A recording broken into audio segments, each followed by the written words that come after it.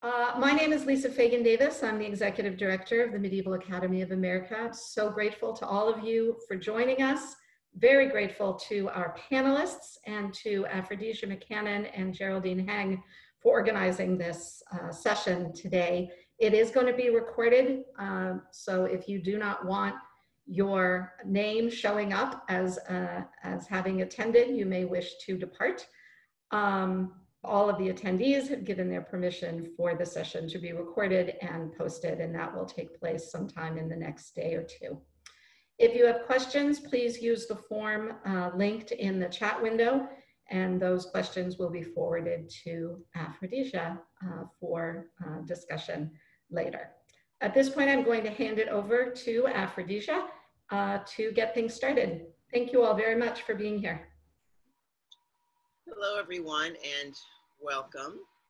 So I um, just want to give you a little bit of background about this uh, webinar. And after the um, killing of George, George Floyd, I'm just moving my document over. After the killing of George Floyd and the sort of vast protest movement that it sparked, um, many institutions wanted to respond, right, to discuss race and racism and sort of racially motivated violence and um, in the United States and beyond.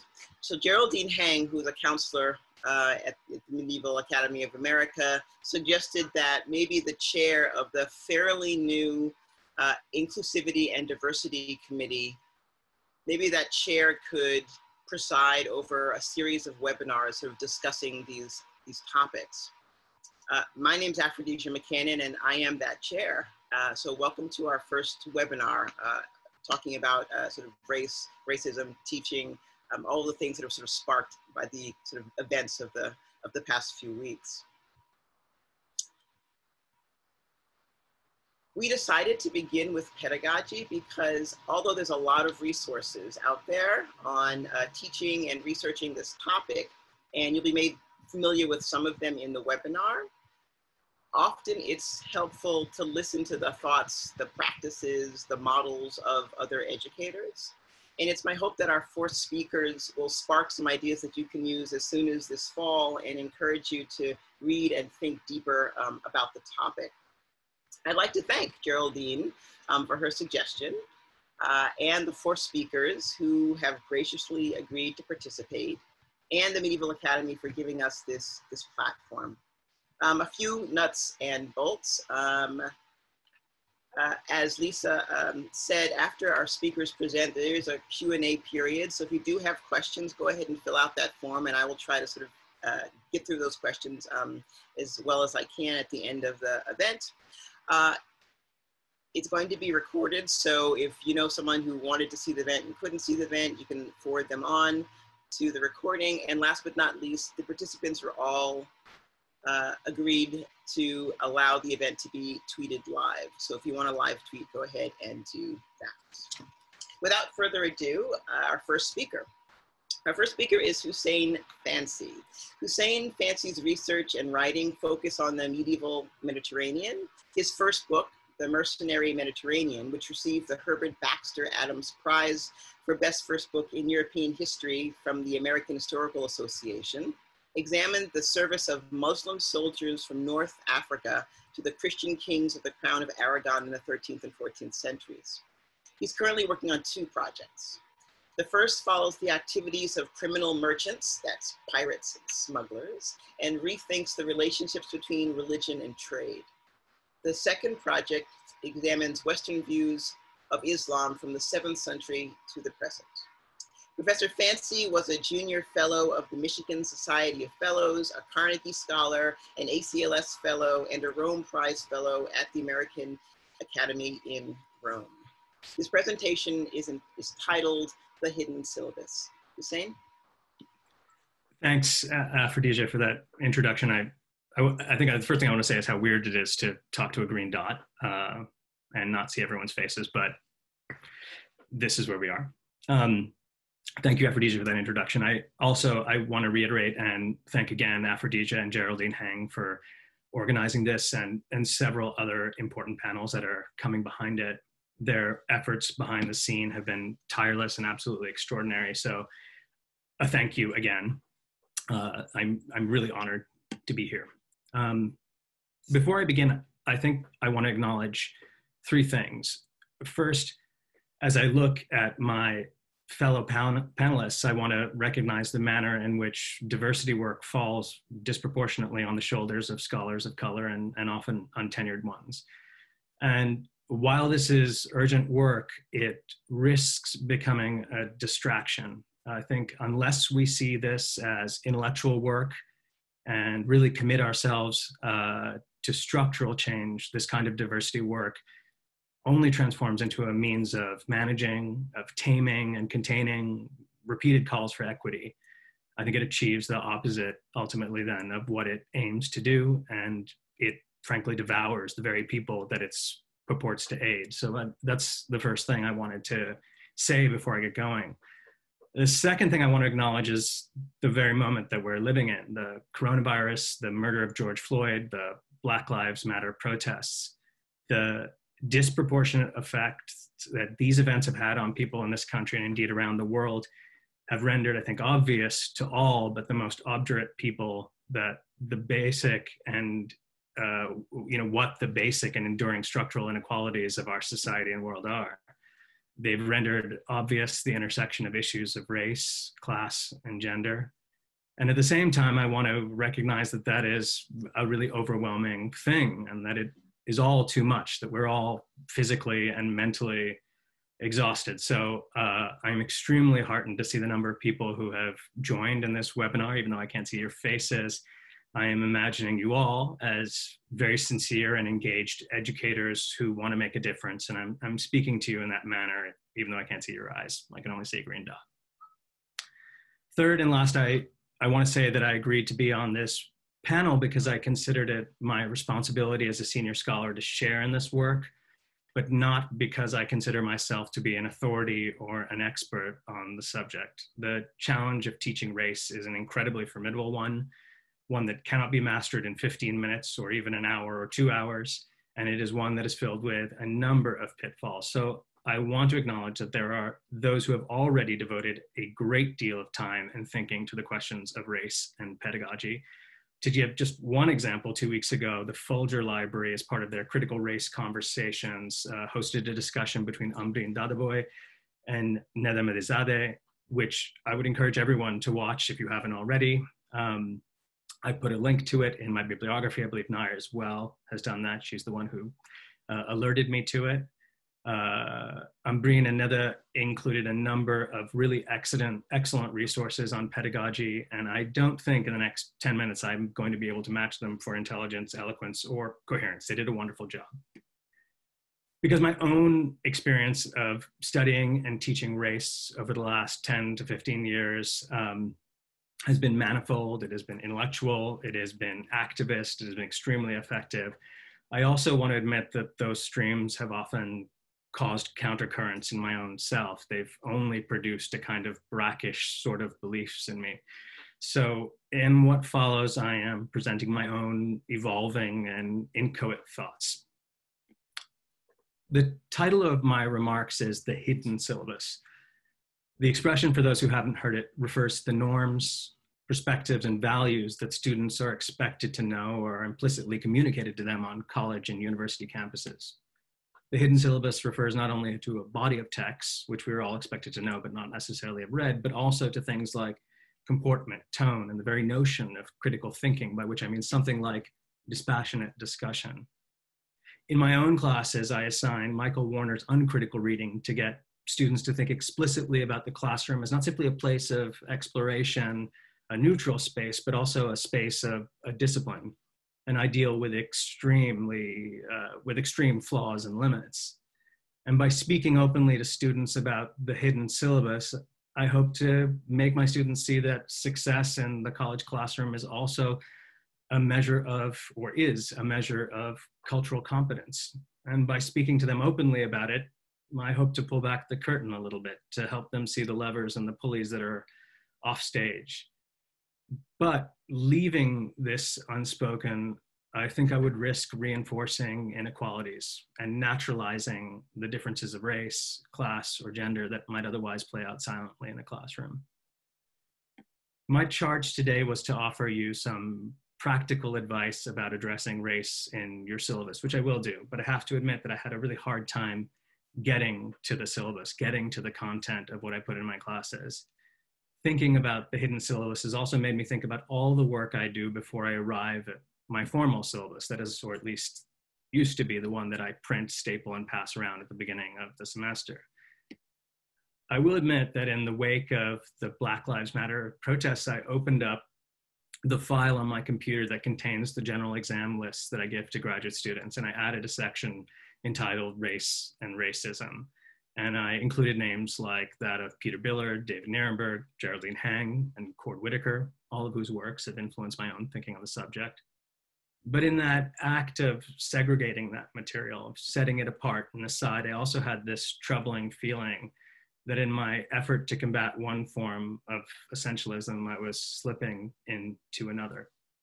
And the trouble with opening up a space in a syllabus, adding a day on race in the Middle Ages to a survey course is that one risks marginalizing a topic that is meant to resist marginalization, that one's up naturalizing a subject that is meant to resist naturalization. When we talk about race, as when we talk about things like religion, class, or gender, I think this threat of essentialism is ever present.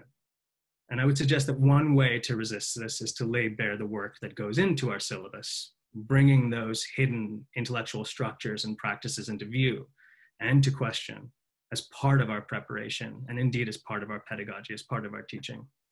In other words, the work of addressing race and inequity um, in and affecting change through a syllabus must mean more than adding three inches of new material to an already defined curriculum. Being someone who is particularly adept at self-criticism, in the weeks before this webinar, I decided to focus the lens upon my own reading and citational practices, to take an audit of my own bookshelves, as it were. And I would urge you to do the same. The inspiration, I'll admit, came from a challenge I received to audit my six-year-old daughter's bookshelf, to see how many books were written by and about Black, Indigenous, or people of color, how many depicted children with disabilities, how many depicted children in other parts of the world, and so on. It was an illuminating exercise. And while a certain world weariness has made me feel less optimistic about the ability of reading books and watching movies to cultivate meaningful and radical empathy with others, this audit nevertheless cast really valuable light, I think, on my habits and my own structures of mind.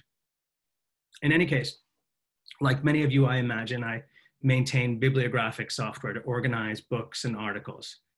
On last count, I had 6,929 references. And within the software that I use, which is called Bookends, I have the ability to sort these entries according to how recently I modified them, which ones I've cited and how often, which ones I've annotated. I was able to quickly collect a list of the most common presses and journals I read or reference isolating about 500 works that I've cited most often. I studied them for their representation of women, scholars of color.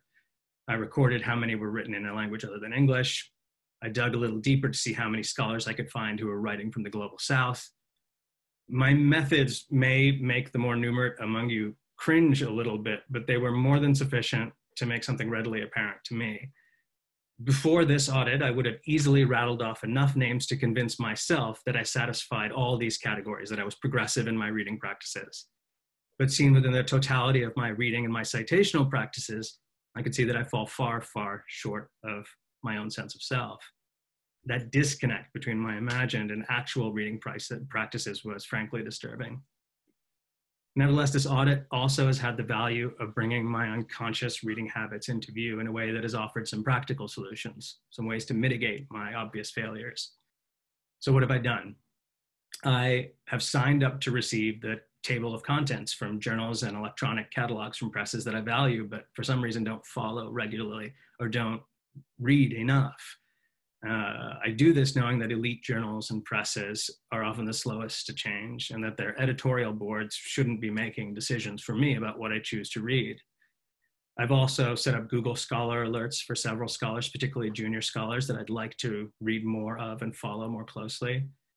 Uh, I've added dozens of new entries to my bibliography, making sure to tag these and file them alongside the projects that I have in process, my reading lists. I've also ordered books, voting with my research dollars. And of course, I read outside medieval studies. I wade widely into um, studies in religion, intellectual history, anthropology, Middle Eastern studies. And I task myself to also do the same in those fields to increase representation.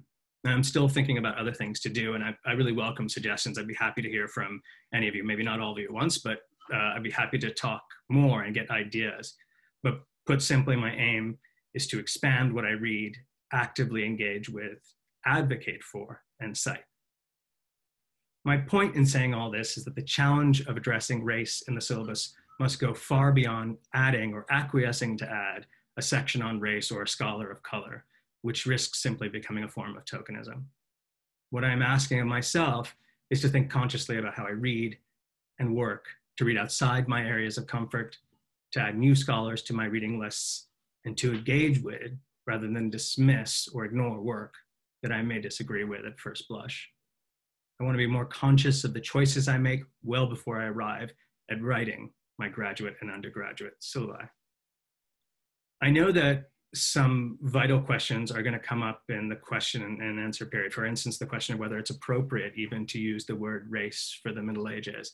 So I'm not going to address it right now, but I will talk about it in, in eventually. Um, so in the brief time that I have remaining, I would be remiss if I didn't offer you some practical advice for those of, or some practical advice for those of you who are planning your syllabi and not simply uh, tell you that I'm mired in self-doubt. I uh, am a scholar of medieval Iberia in North Africa. And although much of the recent scholarship on race is centered on Northern Europe, particularly England, it's worth pointing out the lengthy and robust debates about race in medieval Iberia. After all, it was arguably in medieval Iberia that the word race, or raza, first came to stand for bio the biological reproduction of human difference, specifically in reference to conversos, that is, the Jewish converts to Christianity. As a guide to these lengthy debates and the appearance of the term in medieval sources, I would refer you to first to an essay by David Nirenberg, as well as a relevant primary source and translation, both of which appear in my bibliography. But if Iberia has been a curiously marginal topic in this moment, I would say that the question of race in the Islamic world is even more so. It may be true that there were few studies on this topic decades ago when Bernard Lewis complained that, of their absence, but that's no longer the case.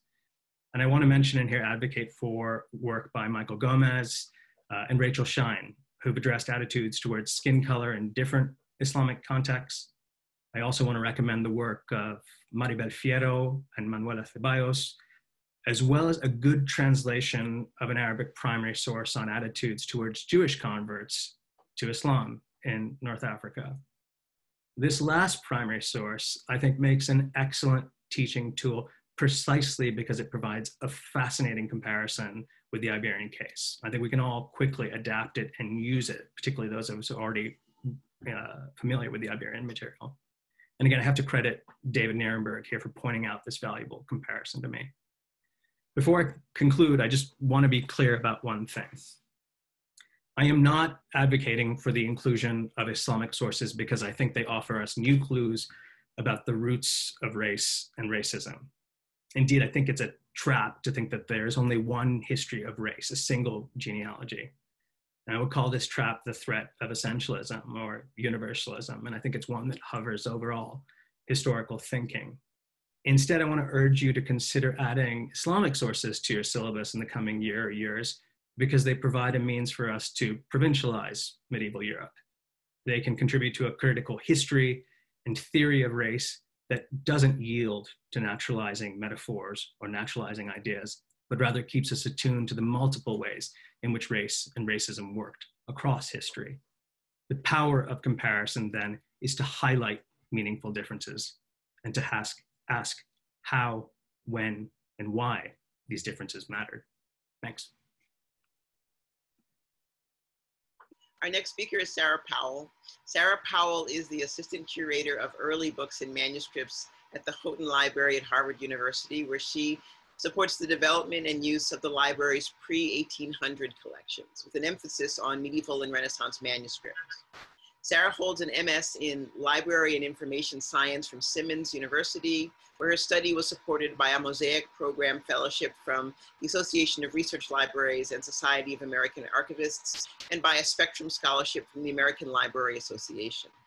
She also holds an MA in Medieval Studies from the University of York, where her research focused on social history in late medieval England. Previously, she held research and instruction uh, librarian positions at the Beinecke Rare Book and Manuscript Library at Yale and Swarthmore's College, Swarthmore College's libraries. Go on, Sara. Thank you. All right, I'm going to share my screen. Is that good? Okay. Um, so I've changed my title a bit from what it was on the website since I first started thinking about this.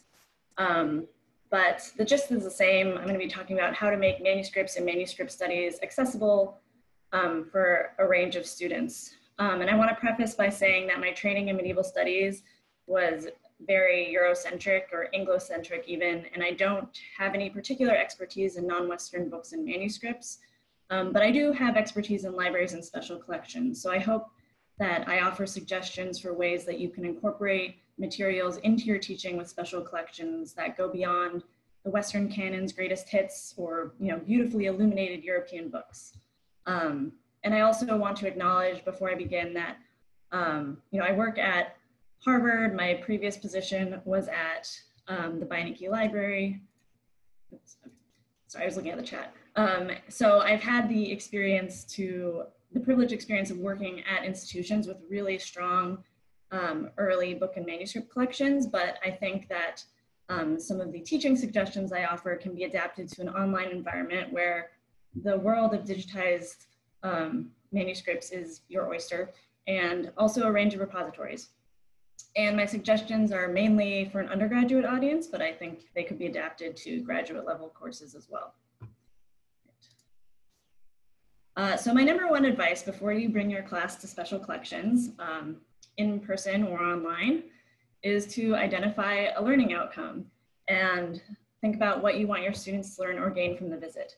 And this might seem very straightforward and obvious, um, but I've worked with a lot of faculty and instructors whose goals are not any more clearly defined than they want their students to see um, manuscripts. Um, so think about to what end. Uh, for example, if you want to focus on manuscript form and function, then you might preface with a lecture on how manuscripts are made. If you want to focus on handwriting, how about a mini paleography intro? Again, this might seem obvious, but um, I worked with classes where instructors sort of expect their students to be able to read late medieval or early modern um, materials just because they're in English. Um, but you want to provide your students with a way into the material. Um, next, consult with library staff. So talk to a librarian, archivist, or curator about your learning goals and how the session will fit into your syllabus. Um, so this goes beyond having specific items in mind. Uh, you might have particular formats or genres that you'd like to see. Um, and this is important because materials might be poorly described or indeed entirely uncatalogued. And I think that is much more likely to be the case if you're um, interested in incorporating materials that are in non-Western European languages. And then finally, let your students know what to expect, orient them to special collections and archives. Um, let them know that uh, they're going to be, there's our security procedures, they're going to be constantly surveilled um, and introduce them to handling guidelines. And again, this might, you might be wondering why I'm mentioning these things in a panel on race and pedagogy in medieval studies. Um, and I think uh, when I was thinking about this, um, I think often when we imagine a medieval studies class, we think of an all or mostly white student body um, or class, um, and that is not going to be the case, right? Students come from different backgrounds, they have different levels of experience or familiarity with museums, archives, and special collections, and therefore different levels of comfort. And it can be understandably anxiety inducing to enter these spaces for the first time or even for the 50th time. So I think, as Hussein said, we have to it's good to pull back the curtain. Um, you know, special collections are not neutral spaces. And in fact, they're traditionally white privileged spaces. And the buildings and the collections often reflect this. For example, the library profession um, in the US today is over 85% white. Um, and again, that's why I think it's important to talk about handling because it helps balance the sense of wonder with accessibility. So it should be really amazing and awe-inspiring to encounter um, you know, medieval manuscripts for the first time, but they're not static objects. They are interactive and they're there to be used. So students should know that these materials are saved for them for research purposes, even if they don't necessarily see researchers or library staff who look like them. So some general advice um, if you're thinking about moving beyond traditional show and tell sessions and diversifying your items. Um, I just mentioned this, not all holdings are equally discoverable. Um, it's important to remind yourself that there's no need to be the expert or a expert and you should always be um, continuing professional development. So when your teaching focuses on methods of analysis or inquiry rather than solely content, this allows for students to become the expert on an object of study on their own or in small groups. Um, and you can model for your students what it looks like to say, I don't know, I don't have a lot of information about you know, the production of Islamic manuscripts, but I can point you to resources. Um, you might also consider co-teaching. So you could um, either with a curator or subject librarian, or um, perhaps a faculty member in another or the same department. Of course, being mindful of how you approach this because you don't want to simply extract expertise, but collaborate and reciprocate. So what I really like to do when I'm, no matter what uh, class I'm working with, is to approach the manuscript or other item as an artifact. Um, think about its creation, its history, its users and readers. And this also mitigates language issues if your students don't have facility with medieval Latin paleography, for example. So again, that's why um, I suggest discussing manuscript production in advance um, so that can be the animal products and human labor that go into the production of manuscript or print books. If you, you might also want to talk about international trade that uh, facilitated certain pigments um, being in Western Europe, um, such as lapis lazuli or Brazil wood.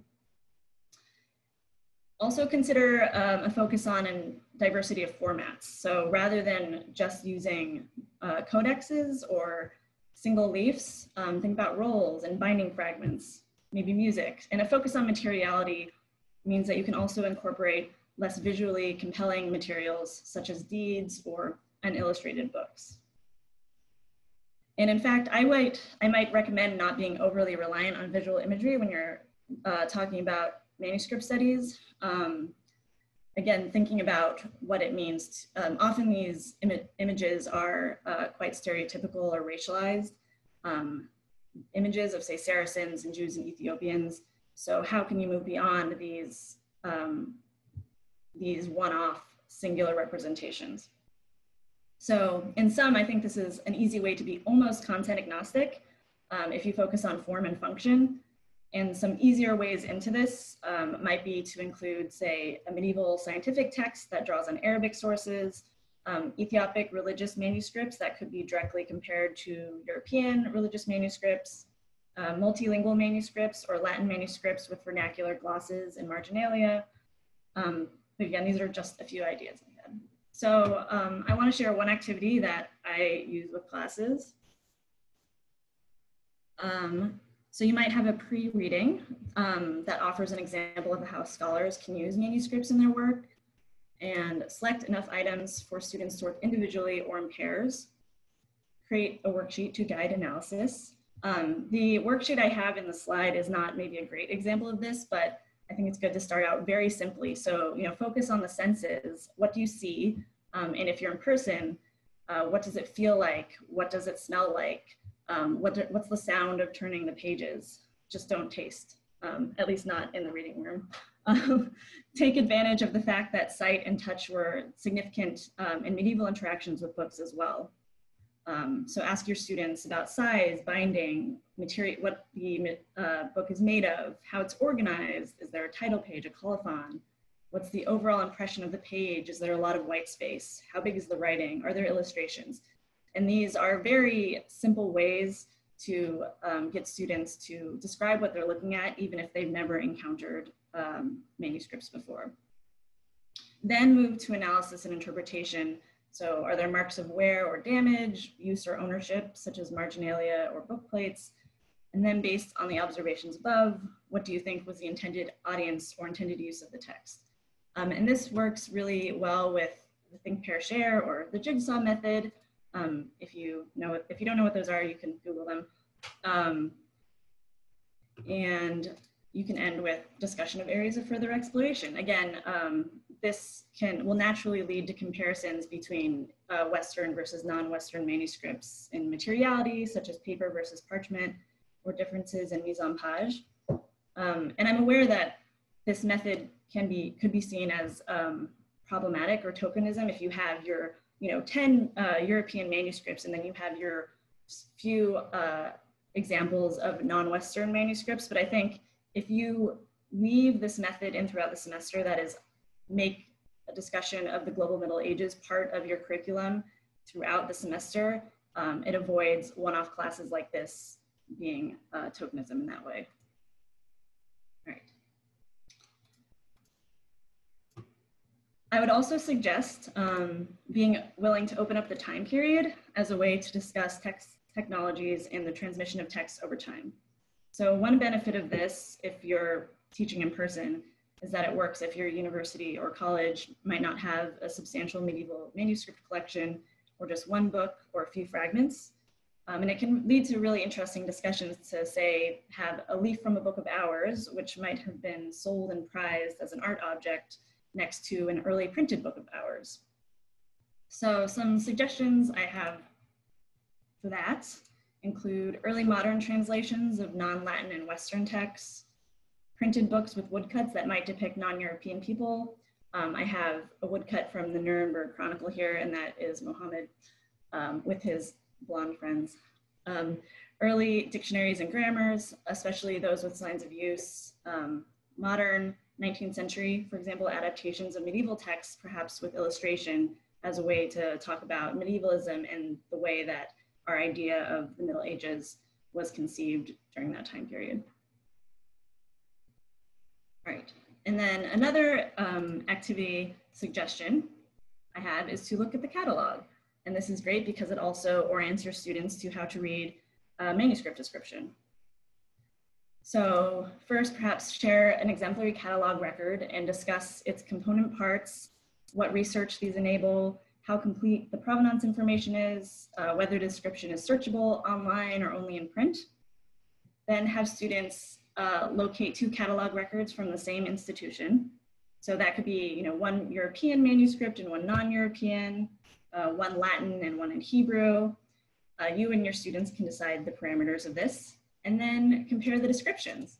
So uh, I have examples here from Houghton Library, and it was not hard to find these examples. Um, as you can see, the Arabic manuscript is uh, poorly described in comparison to the English manuscript at bottom. Um, so again, talk about um, how detailed the records are, if there's only transliteration or if information is given in the original language. Um, what does subject access look like? What terms are used for the subject access? If there's provenance information. And this is a really great exercise to start talking about classification and description. So how libraries and catalogs and therefore the scholarship they facilitate are not neutral and unbiased. You could probably also do this um, activity with manuscript sales catalogs, which I haven't done, but I think could be pretty interesting, especially from the, from the provenance perspective. Um, and that this can also lead to discussion of collection development history. So the expense and valorization of certain types of materials, the uneven distribution of these materials to wealthy individuals and institutions. Um, I wanted to read a sentence from Jeffrey Cohen's chapter on race in a handbook on Middle English studies because it's very appropriate to this topic. Uh, he says, no taxonomy is neutral. To classify peoples is to judge them, to sort the way, world in ways that typically buttresses the privileges of a dominating collective. And that is as true of books as it is of people. Um, and I will say that Houghton Library is currently undertaking a redescription project to address problematic description in the catalog, as are many institutions in this moment. Great. So some final thoughts. Again, I will harp on this. Collaborate with librarians, archivists, and curators, especially right now, there are so many digitized resources and librarians at your institution, even if you don't have um, a robust early uh, books and manuscripts collection, can give expert advice on what your institution holds and also on finding great materials elsewhere. Um, and at Houghton, and I think many places like Houghton, we're also happy to provide reference support for working with the materials in our collections in your teaching. So if you're interested in incorporating any of our digitized manuscripts, um, feel free to reach out. And here are a few sources of places I go when I'm looking at lesson planning for special collections for learning with primary sources. And if you're interested in bias and cataloging, this is a recent article that um, I found quite illuminating and you might as well. And that is all, thank you.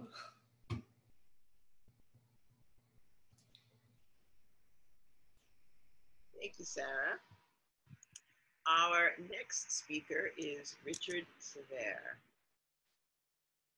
Richard Sévère is an associate professor of English and the chair of the English department at Valparaiso University.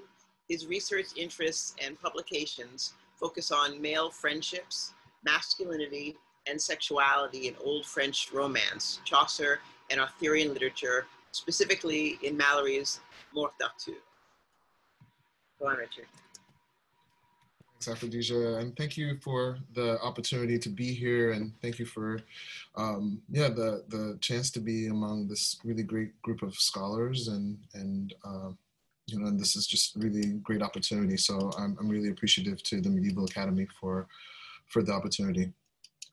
So I'm thinking of today's topic on race, racism, and teaching in the Middle Ages. I find myself reflecting less on race in medieval texts and more about the positionality, physicality, and identity of those who teach the Middle Ages and the students whom we teach. As a Black man, I am profoundly aware of how my immutable traits, my identity, impact and influence my teaching of the Middle Ages.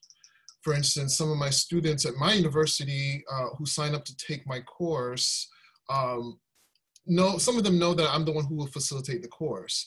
But for those who may not know me or my research area, seem to always be taken aback, at least for a brief moment when I walk into the room and introduce myself. Such moments aren't new to me, meaning I have not recently recognized that I'm a black man teaching what some may perceive as the most, you know, as the widest subjects around. I understood what I was getting myself into shortly after graduating from a historically black university and pursuing a graduate degree in a predominantly white institution. I also understood clearly that my identity as a person of color would somehow be put in jeopardy because of what I chose to study. I fully understood that pursuing research focused on medieval literature instead of Caribbean literature, as I once considered, would appear as if I was potentially turning my back on that one identity only to never be fully embraced by another. I knew I was going to find myself in what I described to be as an identity limbo.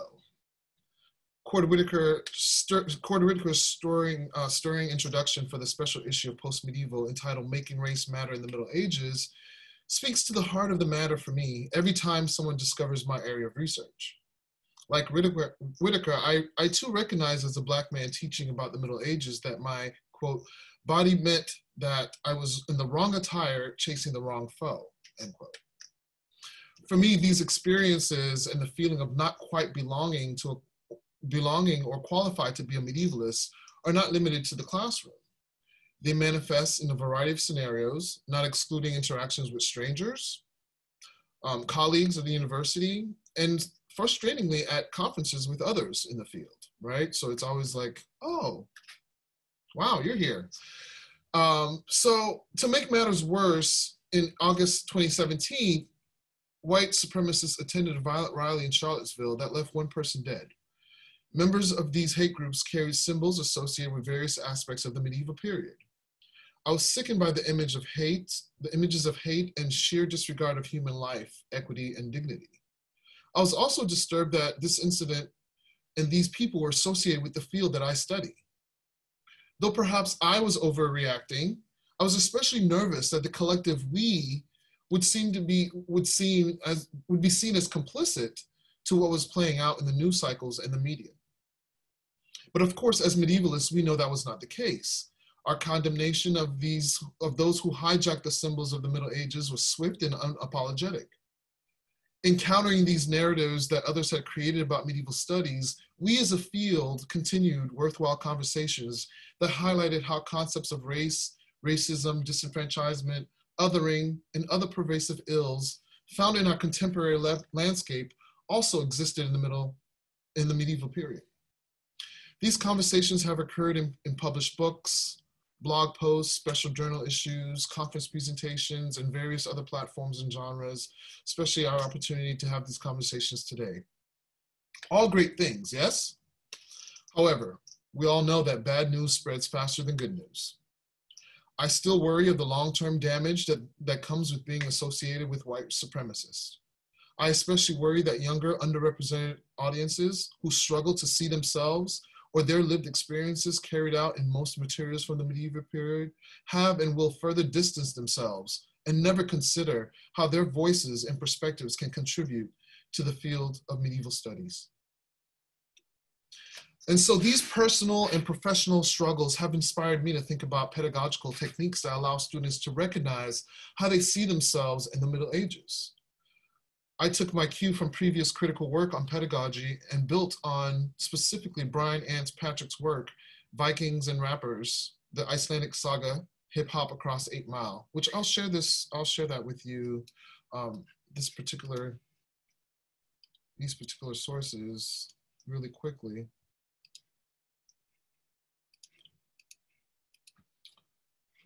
So I have Marc Lamont Hill's text and some others, but this one specifically is the one that I, I, I reference um, that kind of got me thinking about my particular approach.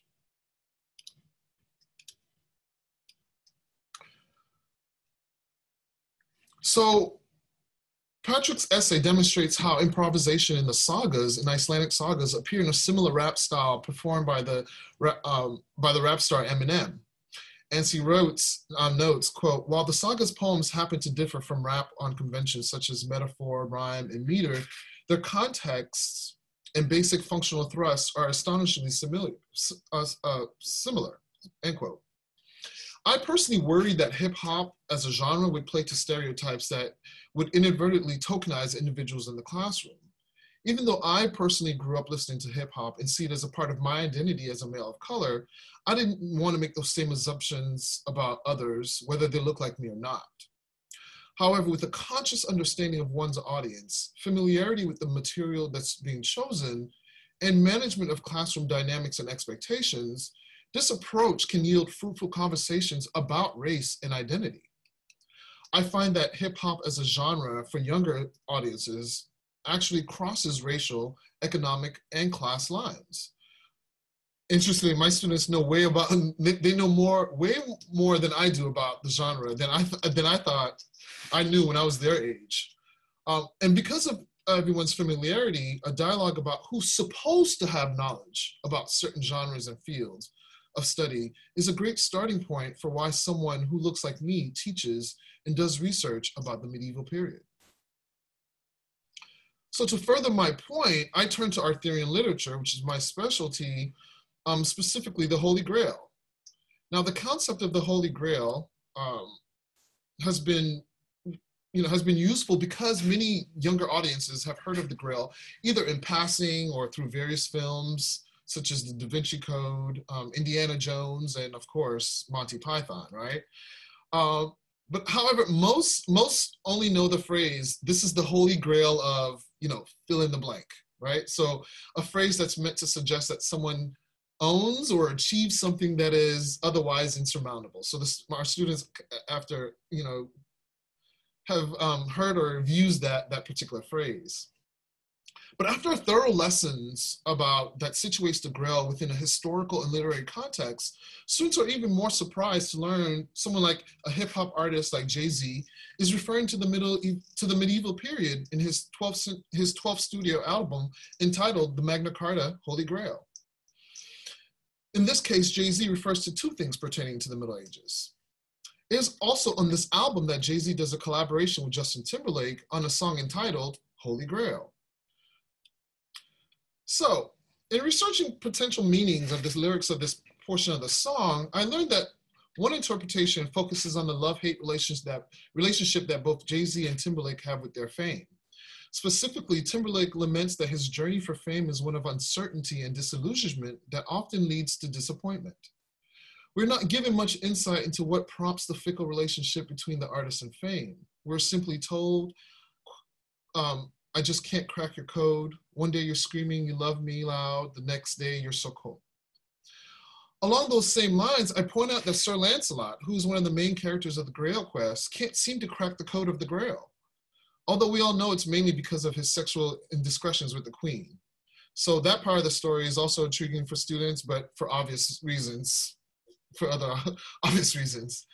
But I also point out the later moments of the Grail where Lancelot himself uh, laments, quote, I have seen great marvels that no tongue may tell, and more than any heart can think, and that had not mid my sin been before time else, I had seen much more, end quote.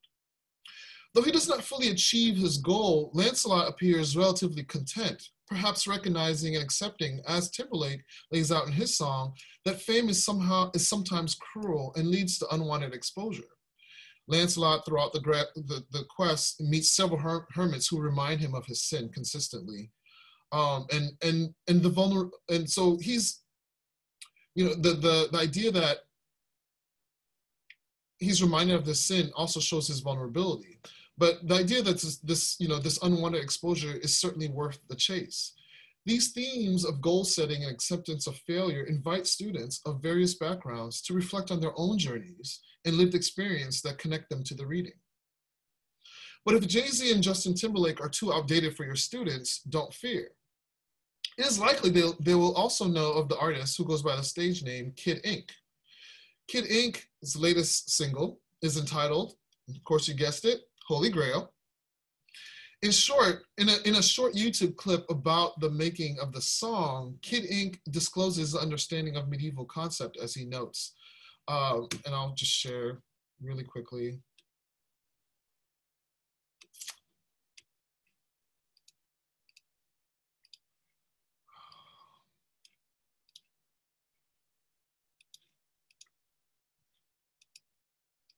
So he notes that the Holy Grail technically supposed to be the cup Jesus drank out of, the Last Supper.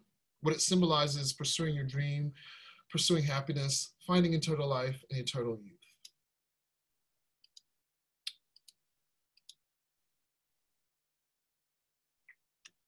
So, and he also, and, and so we could also make the connection to the Middle Ages in the song's actual refrain, um, where the artist states, uh, oh gosh,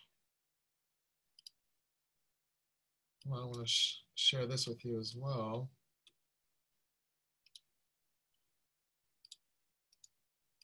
So he's saying, sipping, sipping from the, this holy grail, I get motivated by, motivated by myself. The hustle made it hard to fail. Everyone rolling gonna prevail. I just made another sale. Product falling off the scale. Money got me under a spell. Follow me, I lead the trail. So Kid Ink, not unlike Arthur's Knights, who are motivated by the social significance of the Grail quest, is also on a journey to seeking immortal fame. I show similar, a similar zeal in Sir Gawain's character, who's, the, who's among the first of Malory's, uh, in Malory's Morte d'Arthur to declare his desire to take on the Grail quest. Um, Gawain tells his fellow knights, Wherefore I will make here a vow that tomorrow, without any longer abiding, I shall labor in the quest of the Saint Grail, and, and that I shall hold me out 12 months a day more, if need be, and never shall return to the court until I've seen, until I've seen the Grail more openly. So, so Gawain is saying that I'm going to go on this quest, and I'm going to you know, do the, all that I can to make sure I see the more, the, the um, see more than I've seen here. So comparable to Gawain, Kid Ink is self-motivated and articulates a willingness to work hard to achieve his goals. He seeks to achieve his own version of the Grail. Both view themselves as leaders setting example for others. Like the money that has Kid Ink under a spell and drives him to seek more, someone like Gawain notes that he's seen a glimpse of the Grail and he too is under a spell and determined to see more. Ultimately, both of these, individual, these individuals value the quest, or some, as may, some may say, the hustle, and are seeking out ways to achieve more. Again, these passages show thematic connections between contemporary hip hop and the Middle Ages. More importantly, this exercise shows how the medieval period shows up st in students' world in ways that they would necessarily expect. By considering and incorporating alternative ways to deliver content in our classroom, we can make the field even more accessible to our young readers. In doing so, we bring, in the we bring into conversation those students whom we may not have reached otherwise, those whom we may think would never be interested because of the pervasive misconceptions and prejudices. For me, these two brief examples are the ways I find myself disman- dismantling the opinion that, the medi- that medieval studies is somehow intended for a single audience. I find that this pedagogical method allows my personal and professional identities to merge, thus demonstrating that conversations about race and racism in, medieval, in the medieval period should not only focus on the material from the time period, but also on the identities and the lived experiences of those individuals who study and teach the Middle Ages, both now and in the future. Thank you. Thank you. Mm. Right on time. All right, our next speaker is Nahir Otaño Gracia. Let me just pull up her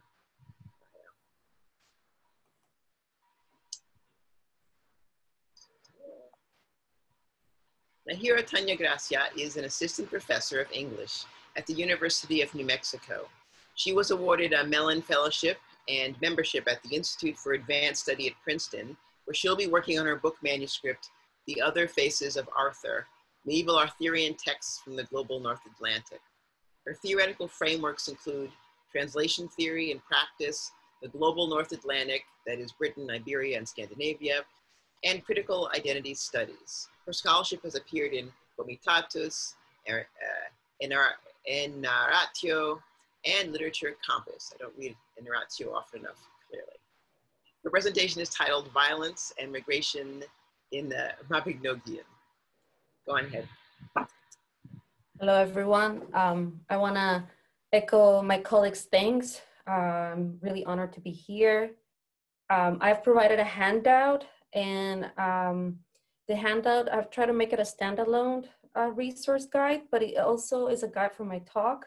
Um, I think that you can find it at, at my page, nairotano.com slash resources. And I believe they're gonna put it in the link here so you can see it and, and copy it. Um, I would like to start by acknowledging that I am from Puerto Rico, whose original people, the Taínos, experienced cultural genocide and other atrocities. I now live in Albuquerque, New Mexico, land of the Pueblo people. There are 19 sovereign Pueblo nations in New Mexico, as well as three Apache tribes and the Navajo Nation. I work and I stand on stolen land. Um, it's, it's also really important that I mention that I will be discussing violence through my talk, and I will be describing violent scenes, so I wanted to warn you all about this. Um, I have taught courses that deal with race and racism in one way or another for almost a decade. Most recently, I taught a a graduate course on medieval Romance and race. Um, and I understand race as a social fabrication used by societies to establish and justify systems of power, privilege, disenfranchisement, and oppression. And I understand racism as a systems of advantage based on race that benefits whites. I recognize not, that not all of us work on critical race studies and that many of us are nervous that we will get it wrong.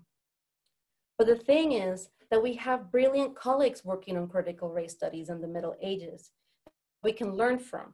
And at a time when COVID-19 is disproportionately hurting Blacks, Indigenous, and people of color, and police brutality continues to harm Black men and women, we need to take an active role to stop racism within our communities.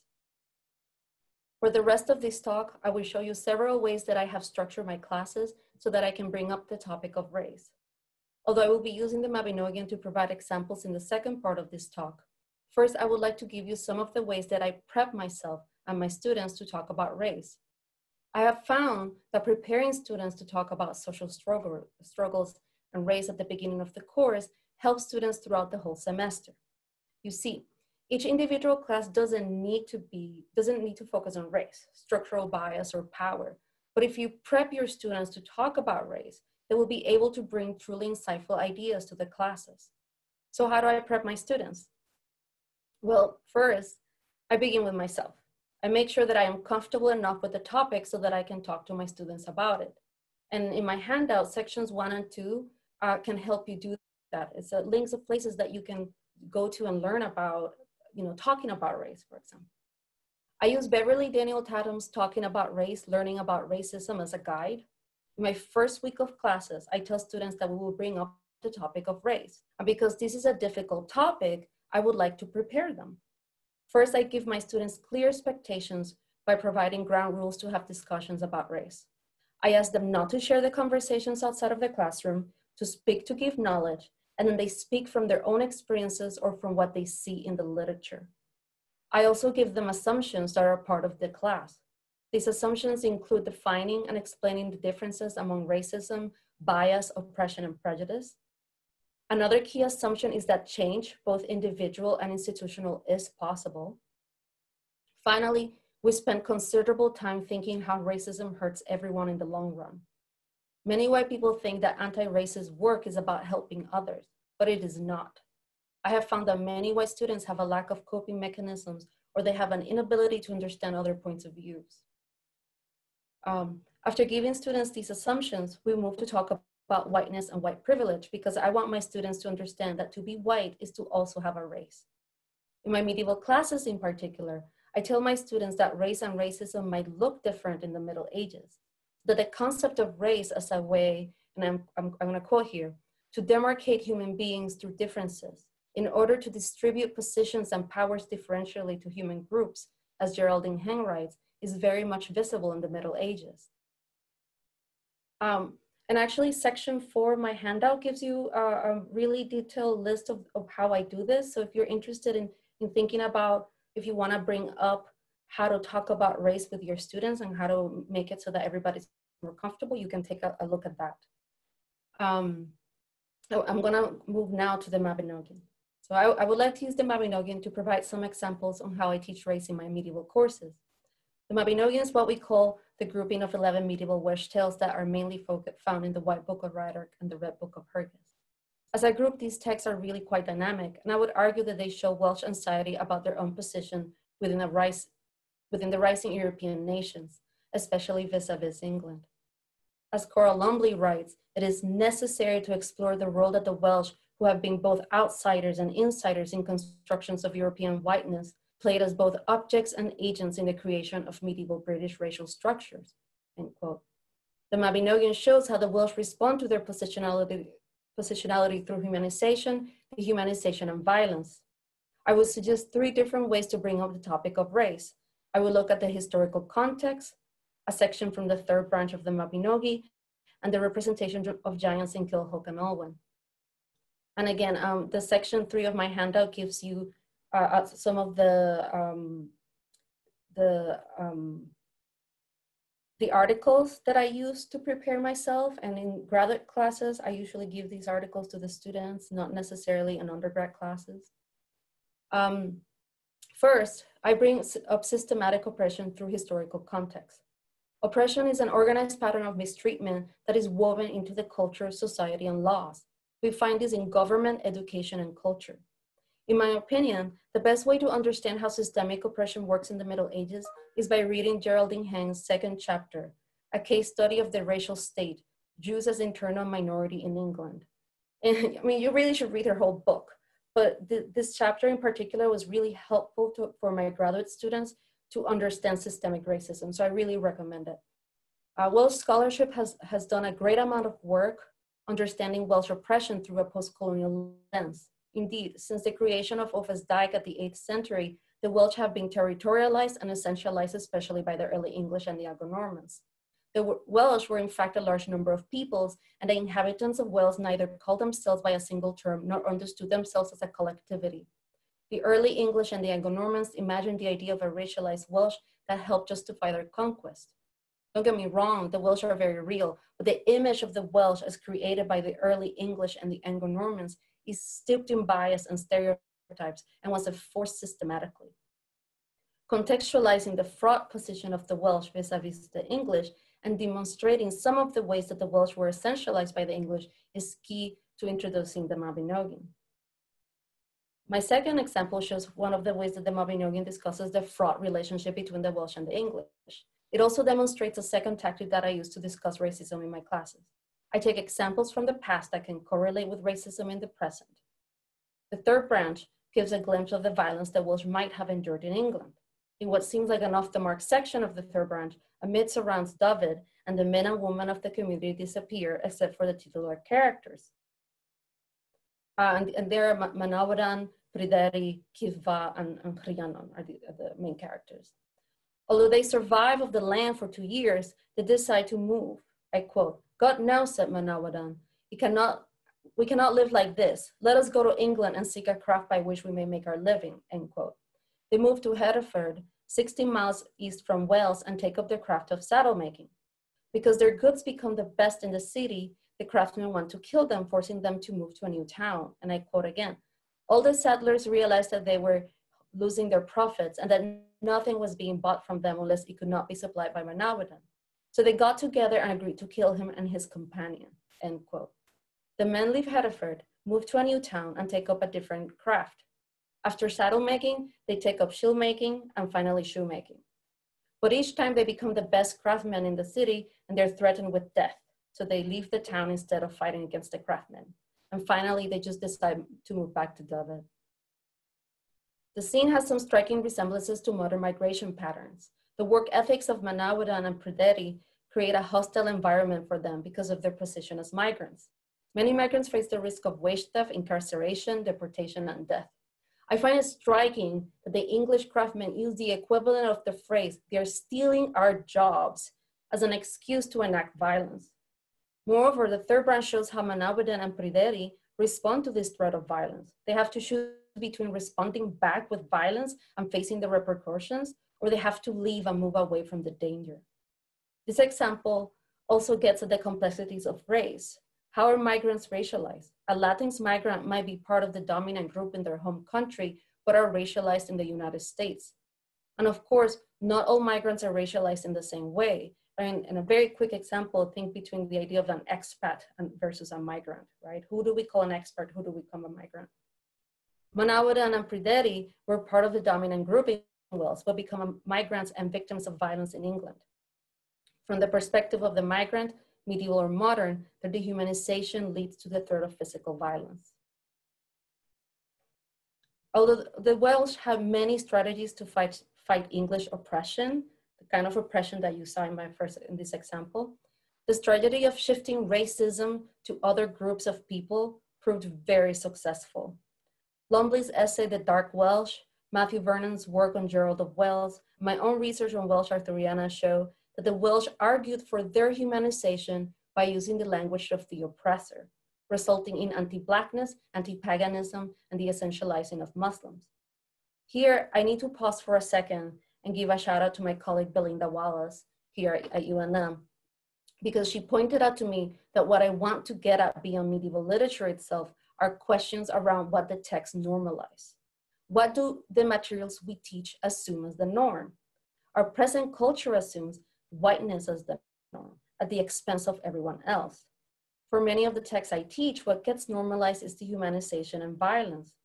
And this brings me to my third and final example, which shows how Culhwch and Olwen uses dehumanizing tactics to normalize violence against giants.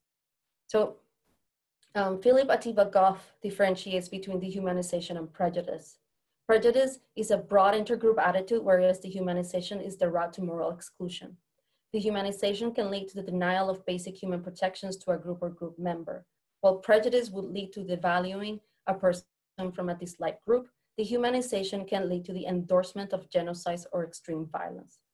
And this is one of the things that white supremacy does. It normalizes exclusionary violence based on race. The giants in Culhwch and Olwen hold territories, have families, they marry humans and have children with them, some are part of Arthur's retinue, and others are killed and dismembered throughout the story.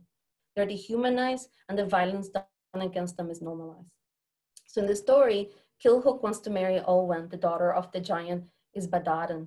But to do so, Culhwch must fulfill all kinds of, of demands, and he enlists Arthur's help, his cousin, to do so. Notable in the story is the amount of violence committed against giants. And I, and I highly recommend the article Giants, Boar Hunts, and Barbering by Sarah Sheehan because it really helps show how the um, the tale presents a, a, lot of giants and how they are how much violence is enacted against them. So, for example, Wrnach Gawr is decapitated. The hairs of Dougi's the horsemen are twisted out of him while he's alive, and then he's killed right afterwards. Finally, Ysbaddaden's skin flesh and ears are shaved off. So I'm gonna quote. And then uh, Goreu, son of Kinston, grabbed him by the hair and dragged him to the tomb and cut off his head and stuck it to the bailey post. And he took possession of his fort and territory, end quote. And, and according to the Dictionary of World Language, and, and I know this because of Sheehan, but according to the dictionary, uh, the range of meaning of the word tomb, which is translated as mound in a lot of uh, translations, consists of dung, excrement, heap of dung, dunghill, manure, compost, dirt, filth, mire, muck, mud, mound, head. So Ysbaddaden is not only killed, but he's tortured, beheaded in a pile of excrement, all the while his territories are incorporated into the Arthurian milieu. This type of violence is only possible because Ysbaddaden has been dehumanized, in part by his status as a giant and by the earlier acts of violence against the larger than life. But even characters such as Kay and Goreu, who are part of Arthur's retinue, but who are also part giants, suffer. They both seem to function as exotic allies, a term coined by Sierra Lomuto and Diaz, the Mongol princess of Tars. They become allies that are both feared and desired. The text, the text is making race by conditionally humanizing those that advance the Arthurian cause and dehumanizing the giant that is protecting his own territory. Kay, for example, is described as having monstrous undertones and gigantic attributes. And although Kay is one of the men sent to find the dwelling of Ish, uh, Ysbaddaden, um, he also decapitates Wrnach Gawr for Arthur, and he helps twist the hairs of Dugis the horseman. Arthur mocks him for fulfilling his obligations. I quote, and then Arthur said this angling, a leash was made by Kay from the beard of Dugis. Were he alive, he would kill you. And because of that, Kay sulked so that the warriors of, his, of this island could hardly make peace between Kay and Arthur. And yet neither Arthur's misfortune nor the killing of his men could induce Kay to have anything to do with him in his hour of need from then on. End quote. Arthur's poem mocks Kay for fulfilling the demands that Arthur is honor bound to accomplish, which I, I find amazing um, in a bad way. Uh, Goreu is also um, half giant, so he's half human, half giant. He's the product of the marriage of Culhwch's aunt and Ysbaddaden's brother. Um, Goreu is cousin to Culhwch and Arthur, and he's acknowledged uh, as, as, a cousin to Arthur in Triad 52. He belongs to Arthur's retinue, and you know he kills Ysbaddaden. He kills his his uncle, and and I cannot emphasize how violent this is. And for to give you some more context, Olwen, um, who is Ysbaddaden's daughter, also helps Culhwch, knowing it would lead to her father's death. And now you have Goreu, his nephew, killing him. So the text demands that these giants and half giants submit willingly to the dominant group by killing their family members that are against the Arthurian norm. And, and so that's my final example. So I'm just gonna close up. Uh, when I teach the Mabinogion, I tend to highlight how much violence in the text, that it is portrayed as normal and non-violent, and that it is made invisible. The same way that white supremacy makes violence against BIPOC invisible. The way that the giants are depicted in Culhwch and Olwen reminds me of the ways that later medieval English romances enact violence against Muslims. Geraldine Heng writes that the raising of the Islamic Saracen did not always require the production of difference as absolutely incommensurable. For instance, under particular, narrowly defined conditions, Saracens can be allowed to resemble and are praised for resembling Christian Europeans, into whose company they might be imagined as inducted, end quote. In Culhwch and Olwen, the giant is, is treated in a similar way. Under narrowly defined conditions, mainly that they have to enact violence against their own kin, they're allowed into Arthur's retinue, and even then, Kay's mom. And, and honestly, if you want to know a little bit about eh, like the idea of enacting racialized violence against giants in like in a historical context, I really recommend that you Google the giant Patagonians or the giant Tehuelches and so this was a, an indigenous population in Patagonia who, who were very tall and were described as giants in a lot of 16th century texts. And these, this, these group of indigenous population, they were actually, in fact, dismembered and almost brought to extinction. So we have historically used the idea of a giant to bring violence. Um, I want to end right now, um, I want to end by echoing what our colleague Nedda Mehdizadeh stated in the Folger's critical race discussion on cultivating an anti-racist pedagogy. We have to make the time to learn about race in the medieval world. We have to make time to read the amazing work of our colleagues working on critical race studies. And we have to we have to make the time to make syllabi that allow for these discussions to happen so that our students can be better prepared to function in the field of medieval studies and in our world at large. Thank you. Thank you. Thank you, everybody. So um, we have questions to answer, but this is the first time that you've all had a chance to hear everyone else's presentations. Is there anything that you want to add or sort of comment on before we go on to the Q&A session?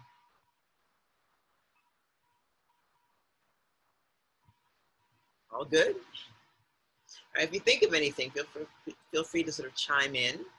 All right, let's go to our, our first question then.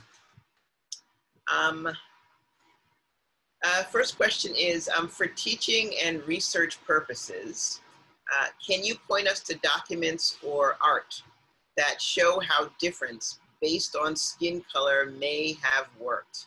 Right, this is a question that was um, submitted before the um, before the uh, the webinar, but that's the question. Can you point us to some documents um, or art that shows the difference based on skin color and how that works? Insane. I, I think this is a really practical question, and I, I appreciate the desire to demonstrate visually how race worked in the Middle Ages because it makes for really powerful and, and useful pedagogy. And I think in addition to the sources I mentioned in my talk or added in my bibliography, I, I might also mention a, a, beautiful essay by Bruce Holsinger called The Color of Salvation, if you want to think a little bit more about color. But I think it's also important to say that colorism, or the naturalizing of somatic differences, or the belief that certain characteristics were tied to skin color, isn't exhaustive of what we might call racism in the medieval or modern period, for that matter. Ideas about skin color in the pre-modern and indeed the modern period intersect with ideas about the body, uh, climate, and theology, and thus, and perhaps, I, I think I might repose this question to uh, to the questioner uh, and ask you to ask it to your questions this way: uh, When, where, and why were religious and cultural differences mapped onto the color color of skin? That might be more useful way to approach this topic.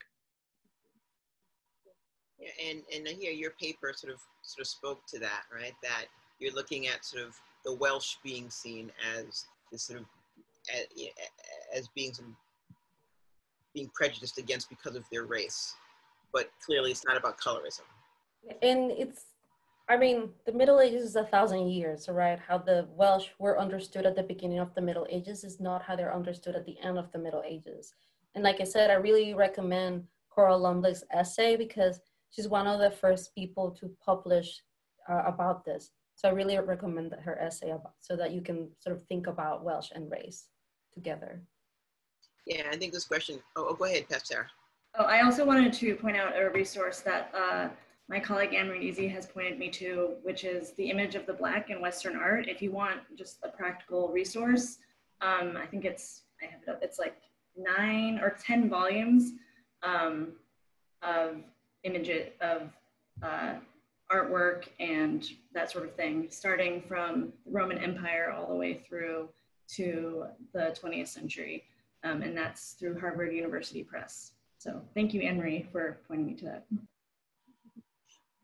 And I just wanted to uh, mention before we move on to the next question that um, this question I think also um, is, uh, you could answer it as well with uh, what Hussein was saying about the importance of provincialism and uh, what Nahir is saying about it's a very long Middle Ages that even colorism right, changes within periods, within regions. It's, it's really very complicated. So once you've got it pinned down or thinking of it pinned down in one place at one time, it's definitely going to be, it's going to change and sort of move. And just to keep that, you know, the, the, the value of provincialism sort of always forward, right, in your teaching and, and research as well.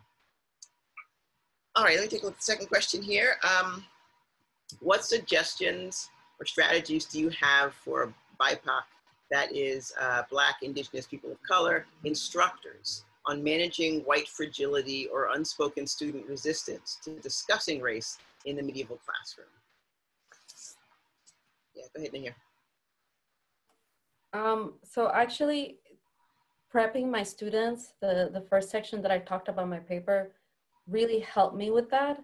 And, and honestly, I, the first time that happened, I was surprised about it. So I, I've been teaching, you know, ideas of race and structural racism uh, probably since I, I, I started grad school in 2006. But I used to sort of do it passively, like I wouldn't tell my students we're going to have these discussions, but they, they did end up happening.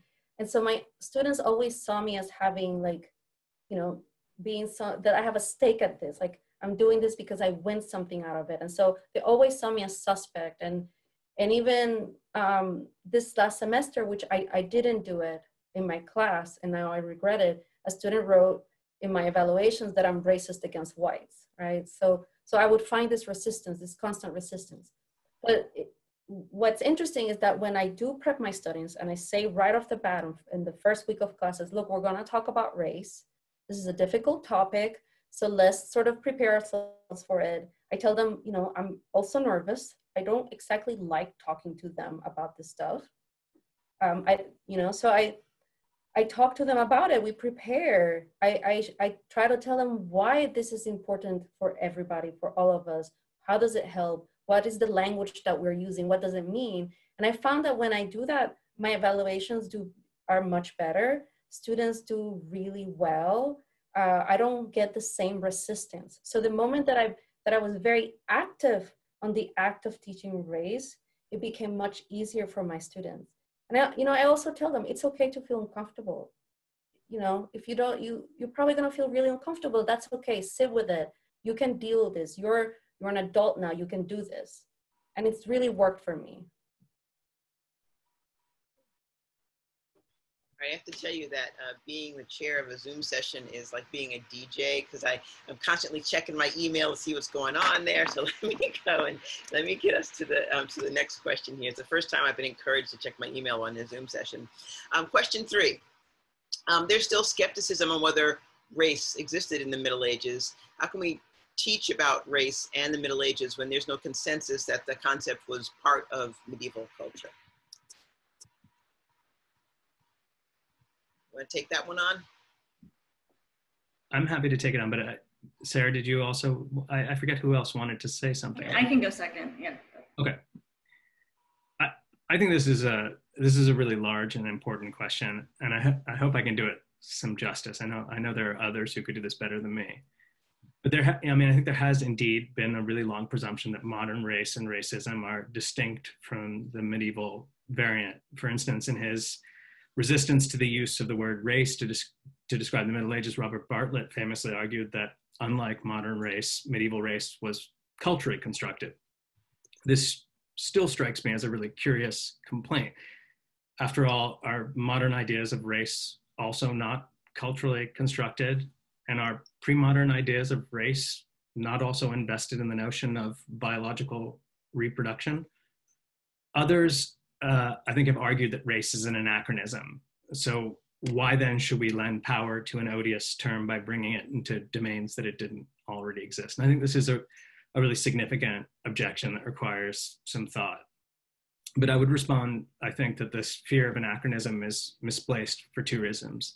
Um, first, the word race does exist in medieval sources. In Romance, it moves from the language of horse breeding to describe the re- biological reproduction of human differences in the 14th century. But I think relying on this argument alone, or relying on it at all, upon the criteria that word's presence in our sources somehow makes it uh, useful or possible for us to use, is really only going to inch us back a few centuries. And thus, I think the second response I have to a concern like this uh, is a little bit more important to think and dwell upon, which is to say that if we strip all anachronistic terms from the study of the Middle Ages, we would surely have our hands tied. After all, shouldn't we be equally troubled about using words like culture, religion, the economy, or even medieval for that matter? And I think it's important to say that all these words have their pitfalls. All of them have their problems. When we are speaking about race, as indeed when we are speaking about culture, religion, or economy, I think we are always oscillating between what Paul Gilroy in the Black Atlantic called ontological and strategic essentialisms, between defining terms so narrowly or so broadly that they do more damage than good. And this problem, this oscillation back and forth, I would say is ultimately intractable. It's an essential feature of the modern historical tradition, which in its emphasis on contingency always risks collapsing into a form of self-defeating relativism. And I would say when we confront this problem, this intractable problem, we should probably draw some instructive power from other fields, looking at the way scholars of religion, for instance, have grappled with the term religion, or by looking at the way anthropologists have grappled with the term culture. And in fact, we should think about the way we use all these terms and, and how they tell us to, or how they have criticized it. So for me, the problem really isn't about whether it's appropriate to use the word race. The challenge is really to define what we mean by it, the definitional challenge, which is not an easy one a critical theory or history of race, particularly of pre-modern race, I think is an ongoing project. It's a fruitful discussion, and it has been a very productive way to both broaden and connect our field with other fields. Sarah? I don't have as eloquent of an answer prepared, but I would add um, that um, when it comes to special collections, um, even if the materials themselves might not have been thinking about, you know, the medieval uh, writers might not have been thinking about race in the same ways. When the collections uh, were developed and acquired, um, you can be sure that the librarians and curators or the collectors were thinking about an ethnocentric, if not outright, uh, nationalistic project. Um, and that is still reflected in the way that our collections are organized and described today. Um, so you know, the st students are operating in a world, as you said, Hussein, where race does exist and we need a way to talk about it. Um, and it's quite clear in special collections that, um, you know, we need the vocabulary for that. Nahir, you had a comment? Yeah, just um, a really quick comment. And then Richard, um, I just wanted to say that, you know, having you know, differences of opinions, having critiques, having different ways to define our terminology, I think that's a really good thing, right? Because that means we're a healthy field that's growing and becoming better. Feminists don't all agree on one definition of feminism, right? We, we don't. We have a lot of we have a lot of disagreements, but that's what makes us healthy. I think what we don't want is to have bad faith efforts that aren't really in in that don't really want to learn and grow and be critical in a way to so that we all are healthy in our field but that want to actually dismantle any notion without actually uh, participating. So that that's what i would say is i i want i want healthy critique. And and i i want i, I want that because that's how we be we stay healthy and and we continue to be a growing field I just want to add to that too, in terms of if we're gonna, if, if it's it's all about semantics here, if we can talk about it in terms of just seeing difference in in in the Middle Ages, and I think uh, a lot of our students will, um, their shared experiences will impact how they're reading um, and seeing difference being enacted in the Middle Ages as well. So I think we should be prepared to to kind of recognize that. Um, I know for me as a as a person of color, like I read texts differently than I would imagine that other people do, and I, in, many ways, can recognize when I see someone's not being treated like someone else, right? And so for me, those moments of differences, I don't think we want to. Um, gloss over them. And if our students recognize them, I think we can use that opportunity to talk about, if we don't want to use the term race, but we can talk about differences and how difference is being used to, um, to put people in the margins and to, to disenfranchise individuals. And so those things were happening in that time period just as much as they're happening currently. And so I think um, students will recognize those, or I think, you know, depending who we are as readers, uh, if we're, if we're not, if we're in, unable to recognize that, we should certainly um, recognize when our students recognize it, see it happening. Thank you. All right, my email is kind of blowing up here, so I'm just going to do my best we organize this. Actually, the very first question we got was, uh, I don't think a question you all can answer. It was more about sort of a cri de coeur. Um, I'll summarize it for you. don't know if you uh, have any way of really responding to this.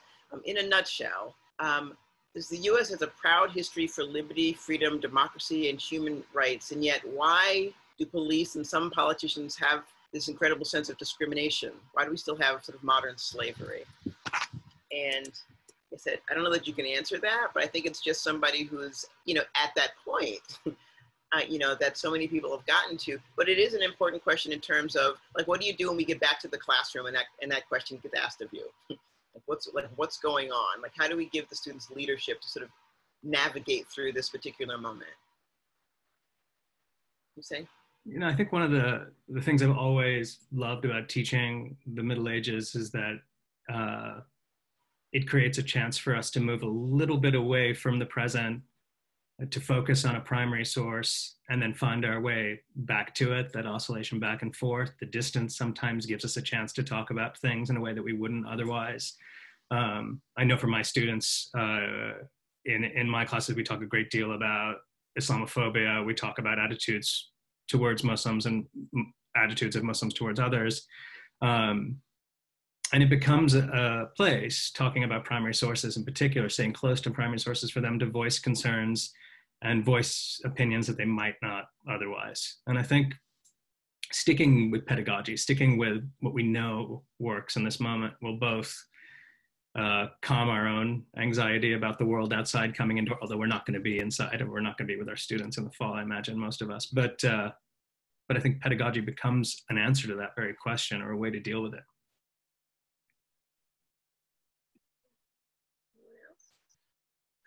All right, to the next question. All right, our next question. Um, I'll try to uh, abbreviate it. I've been thinking about how medieval studies could connect to police and prison abolition, in addition to pushing campuses to defund police. As someone who studied medieval heresy with respect to dialogue with Angela Davis's work exploring parallels between the way the concept of heresy is constructed and policed in the Middle Ages and the concept of crime today. Do people have any other thoughts about medieval studies and how medieval studies could connect to prison abolition, and I would add, or heresy? Naya? Um, but I don't have an answer, but what I will do is, is point out that Race Before Race has a, an event happening, I think this week, about looking at policing and the Middle Ages. I, be, I believe I'm sorry, out of the top of my head, I think Carissa Harris and Cord Whitaker are, are part of it. Um, so I'm just gonna say you go there too. Listen to them and, and, and I think you you you get ideas. Anyone else? All right, feel the next question. I teach in Houston at a large public MSI. Most of my students are non-white. Demographically, Texas is fast approaching majority minority status and the US generally is headed that way as well. What happens when we accommodate and acknowledge these demographic realities and these class predominantly white space? You broke up a little bit, so after, can you repeat that? Sure last bit yeah my, my internet's doing funny things what happens when we accommodate and acknowledge these demographic realities and cease conceiving of the medieval studies classroom as a predominantly white space so this person teaches in um, you know a non-white majority institution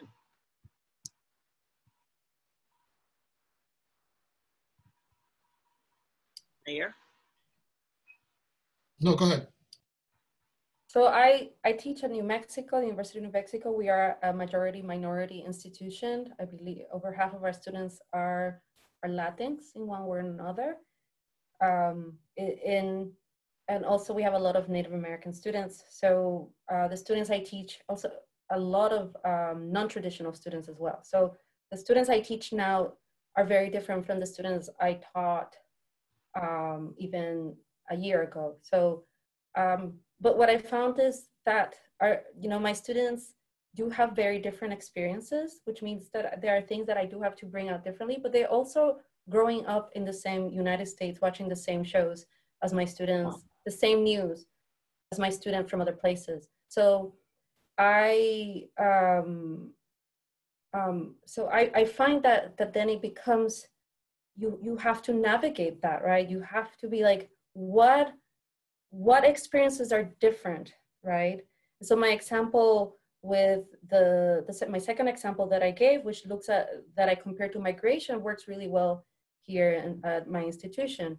but also what are the things that they still need to work on I, and i found that they still struggle with race uh, even though you know we would think that maybe they wouldn't, but they do. So they still need that help. So I would say that it's, it's that balance of, of remembering that these, that if you, even if you're in a majority minority institution, your students are still growing up in the same society that is still creating these uh, systems of oppression and are trying to create hierarchy. So you still have to work with that and emphasize too i think what i do um, is, is, show just how pervasive and and this this mindset is and look how far back it goes. And so in showing that the urgency of of, of thinking about things that that you know that something needs to be done right? And and ways to think about that.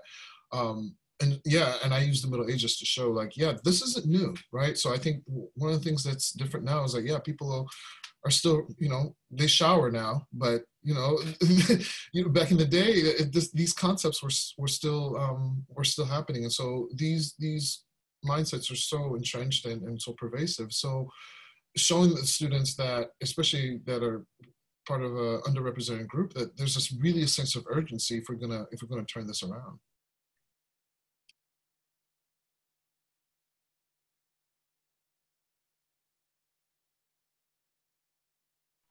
Thanks, guys. I'm working on some tech issues back here in the back backstage. All right, let me get you to the next question. This question is inspired by Richard Sévère's talk, but is open to anyone, everyone. While racial representation is important to consider in the field, what do we do regarding class differences? Given ongoing trends in academia, funding, and the economy, how do we prevent a future in which studying the humanities, especially the Middle Ages, is something seen as for a privileged class. How do we make inclusive classrooms for everyone? And how do we help colleagues from working class backgrounds navigate academia and find success in the field? Yeah, I think it's one of those things that, uh, that I, I, I pointed out earlier is really helping individuals to find and see themselves and see how themselves uh, see how they, themselves can be represented in, in, in, these texts and in, in the work that we do. Um, and and showing that sometimes what not what may not be obvious connections but really helping our students and lead our students into those conversations i think is really helpful um, for them to understand and be able to see themselves and not have these kind of um, distinctions and differentiations that they don't belong or that this is something that's exclusive to a particular group and not others. And i think it's it's really our responsibility as educators to really um, help them down that that particular path.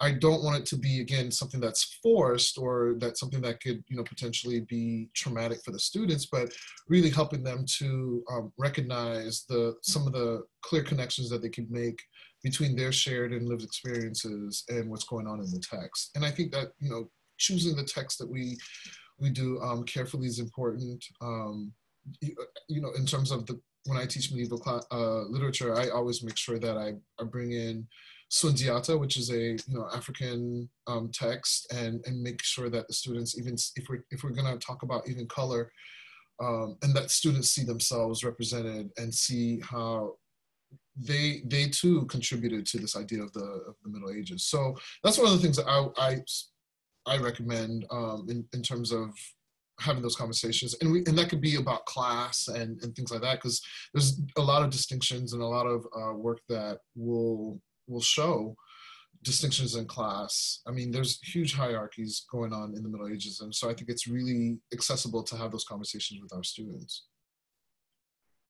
Yeah, I would say uh, when I'm working with undergraduates, especially, I think back, I didn't really think of being a librarian or an archivist as a career when I was an undergrad, and it was only in grad school that I realized that it's a job. Um, and I honestly think there needs to be like more fundamental systemic changes before uh, this type of career might be actually attractive to oh, did I pop? I didn't. Okay. I thought maybe everyone was frozen. Okay. Yeah, I think there need to be more systemic changes before um, before I would necessarily recommend to you know students from um, different socioeconomic backgrounds or people of color to join the profession because ultimately it's quite a low paying profession all things considered um, and our archives and special collections have huge issues with contingent labor and term positions and i think it's important that students who might be interested in the field are aware of those challenges before they enter them and I mean, you can encourage the students all you want to consider it, but um, those are issues we have to contend with. Anybody else want to talk about class in the class? Yeah, it makes me um, think about Hussein sort of audit and um, that I could be doing more with that in the class. You know, I teach the Middle Ages. You, let students know that, yes, we're talking about the, the 1% here. Um, you know, um, and there's there are many many more stories uh, that I that we're not going to get to in the class, and then I go ahead and, and you know and teach the one percent. Um, so there's, there's there's more that can be done. I think I think that um, the, the question is a rele- is a relevant one. Yeah, I, I might add that like it this question of class also makes me think, or one of the things that often runs through my mind is how we how we explain the value of what we're doing and if we explain that value in terms of its job market value or what job it leads to we are likely doing a disservice not only to what is fundamentally the education that they're receiving is about, but also, uh, yeah, we're we are limiting access to some degree to the kind of work we do. If it's frankly, if they're if, if they're looking for a well-paying job, being a medievalist is not one of them. Um, so I think that's a, again how we value our work and what we understand value to be is I think a critical way of, of broaching this topic. All right, let's move on to the next question. All right. Uh, this is a question for Sara. Thank you very much for your helpful paper. How does making manuscripts accessible differently impact Harvard and other institutions? Uh, for context, I was responsible for a rather significant medieval manuscript collection for nearly 10 years. I did everything I could to let people know it existed on social media, etc. I still have to tell people about it. So a library position uh, at an elite institution has a very different meaning than one in a different place. Uh, that's uh, more or less the question, right? Um, and could you think about ways to modify your worksheet for sort of different, um, different institutions? Um, if, if, I'm understanding correctly, is this a question about outreach and how to make sure students and oh. faculty are aware? Um, so, yeah, and um, several of the questions have addressed, just to have in the back of your mind, um, uh, the tension uh, uh, that exists uh, when um, educators from like elite universities, you know, in really secure positions talk about a topic versus like other people yeah. in other kind of situations. Um, well, I think in some, uh, for all the horrible things going on in the world, at least with online teaching, um, everyone has, well, not equal access, but um, we have access to the same digitized manuscripts um, at many institutions. So I think that provides a great opportunity for um, instructors from a range of institutions to take advantage of more well-endowed repositories. Um, I would also say that, um, so this is based on my experience working at Swarthmore College, which I know is not, you know, is, is a very well endowed uh, liberal arts college, but um, their rare book room was, you know, very poorly cataloged, not really used um, by by faculty, and um, I think if you create partnerships with librarians, and um, I think you'll find that there are lots of materials in collections that are actually really amazing and could be really good teaching tools um, that aren't just are simply aren't discoverable online. Um, so there's no easy answer to that question, but um, I hope that some of the ideas I had for incorporating, you know, printed books instead of just relying on manuscripts could also be a helpful way to think about it. Um, there's another question I actually forgot uh, sort of early on, and uh, a parallel question that um, it's kind of directed at, at Sara as well. So let me let me get to that. how might our work change when instruction is done remotely? Does a Zoom classroom environment change the efficacy or implementation of any of the approaches suggested? Um, um, also for Sara, thank you so much for your talk. Do you have any advice on teaching the archives if your university is online only and it's restricting access to the archives? Are there creative ways to get past this favorite and relatively accessible online archives for students to browse? Um, any suggestions there? Um, I'd say uh, the digital scriptorium is a good place to start if you're interested in medieval manuscripts. Um, I mean, I, will say this having just come from the Beinecke. The Beinecke has, I think, all of its um, pre 1500 books and, or not books, but manuscripts at least, uh, digitized.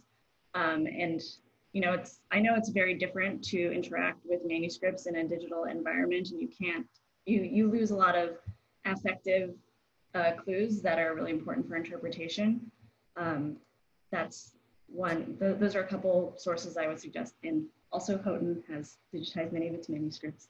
Um, uh, there was a second part to the, oh, um, and in terms of just generally teaching online, I think I didn't have an opportunity to teach online at all this past semester, and it's still something that we are thinking about at Houghton, how to uh, convey the organization and materiality of special collections through digital means. Um, so we're thinking hopefully about having you know docu-cams where at least one person can hold and manipulate materials. You need, it's important to have a sense of scale, which you can't do when you're looking at something in a browser.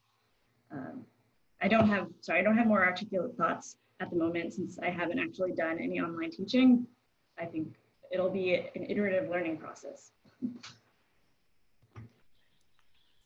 Thank you. Um, yeah, I imagine that your exercise looking at classifications, right? Um, uh, it's something that you could translate easily to the online class. Did anybody else um, teach remotely last semester and have anything to add about their experiences?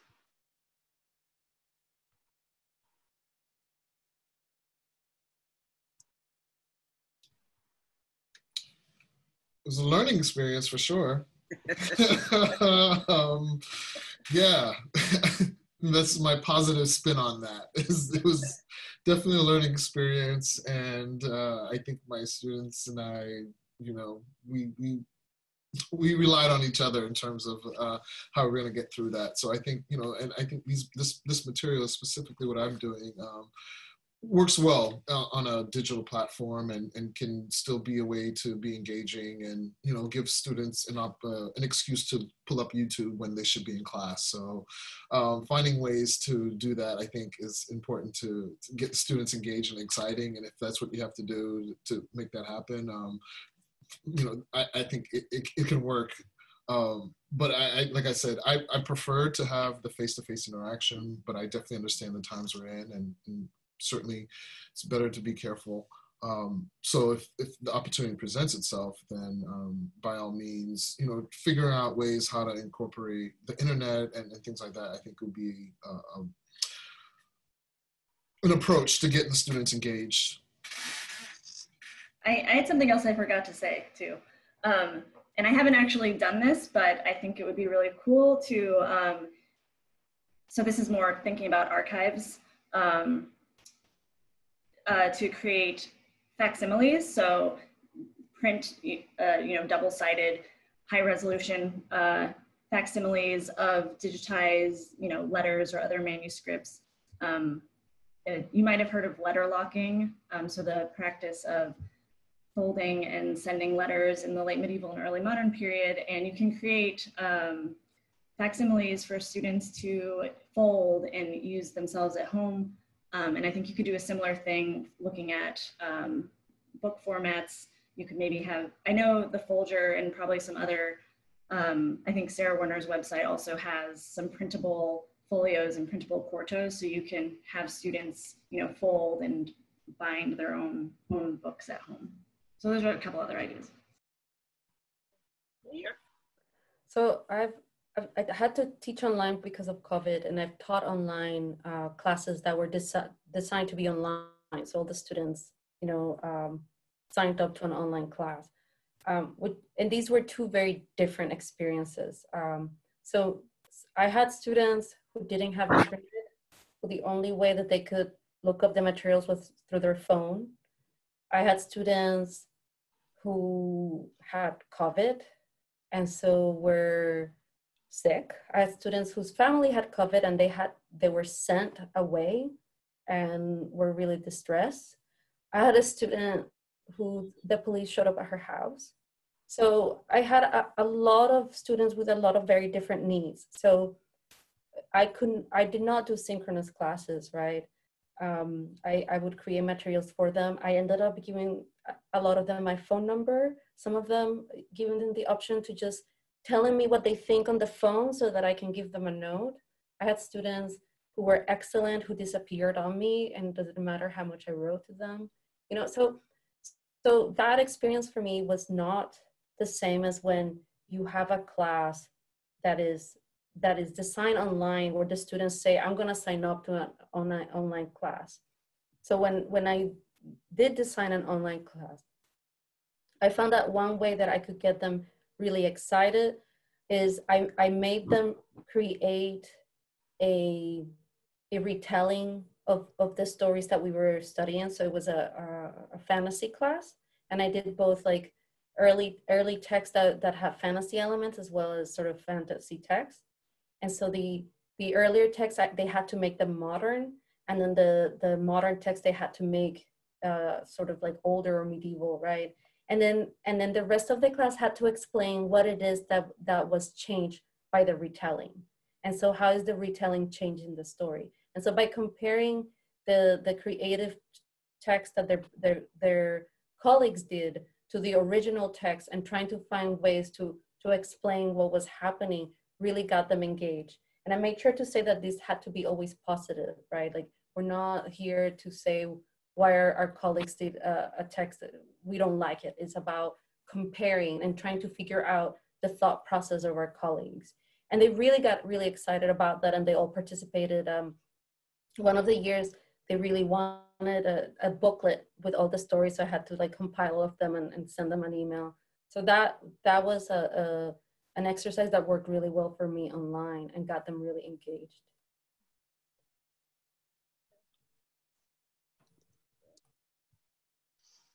just managing the barrage of emails i'm getting so we're getting to the last 10 minutes or so of the of the webinar and we still have um, a lot of questions so i'm trying to sort of um, sift through to get to um, uh, questions about topics we haven't covered yet.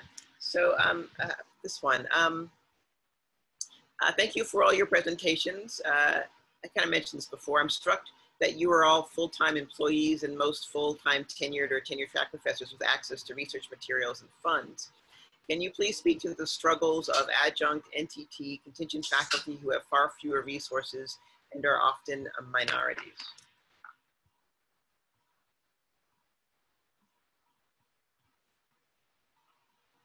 Tricky one. I can start. Yeah. Um, so I've been on the job market since 2012. I, I graduated in 2014 and I got my first job uh, last year. So I spent a long time not um, as, as tenure track. Uh, when I was a grad student, um, there was a blackface incident in my institution, and I was very uh, involved in in trying to um, make awareness about it. And so I was told that I wasn't going to get a job because of it. Um, so I sometimes I'm really happy that I'm here because I I was told that it would be very hard for me to be here. Um, so but what i realized is when when those things was happening was that if i didn't deal with these topics such as the topic of race if i didn't make these things important then the problem will be that i i need to live with myself as a person right and um and so if if i don't make these things part of my curriculum and if i don't do my best to do it i mean like i said i've been doing this as a grad student then I would just would not be myself. So that's why I did it. And I don't know if that gets at the answer, but I was just, I, I worked with what I had, always with what I had. Uh, my resource page, it's all online. It's all links that you can find online. I made it specifically that way so that everybody can access it. Um, and so, you know, the reality that is that if you're doing innovate, really innovative things, you're always going to have to work harder, always, because they're going to make it hard for you, always. So, um, so yeah, so it, it, it, you have to be creative and you will have to work hard and you have to, to do it because you want to. So that's my answer. And I It's really- Oh, go ahead. go ahead, go ahead, go ahead, Afrodesia. No, I'd say that's a, it is a really um, hard question. I have, um, looking through the, the list of uh, different positions and I've had them all. I've been an adjunct, I've been contingent faculty, I've been tenured, I got the whole gamut, you know, um, and uh, I don't have a better answer, I think, than, than Nahir, which is, yeah, it's not easy. You have to work extra hard and that's kind of always been the case. And um, um, I like to think that with this sort of new generation of particularly um, uh, medievalists of color that there is that there is a community that gives you a lot more support than when I was when I was coming up and I was the only medievalist of color that I knew. And so I didn't have a community of people that I could talk to. Uh, Richard?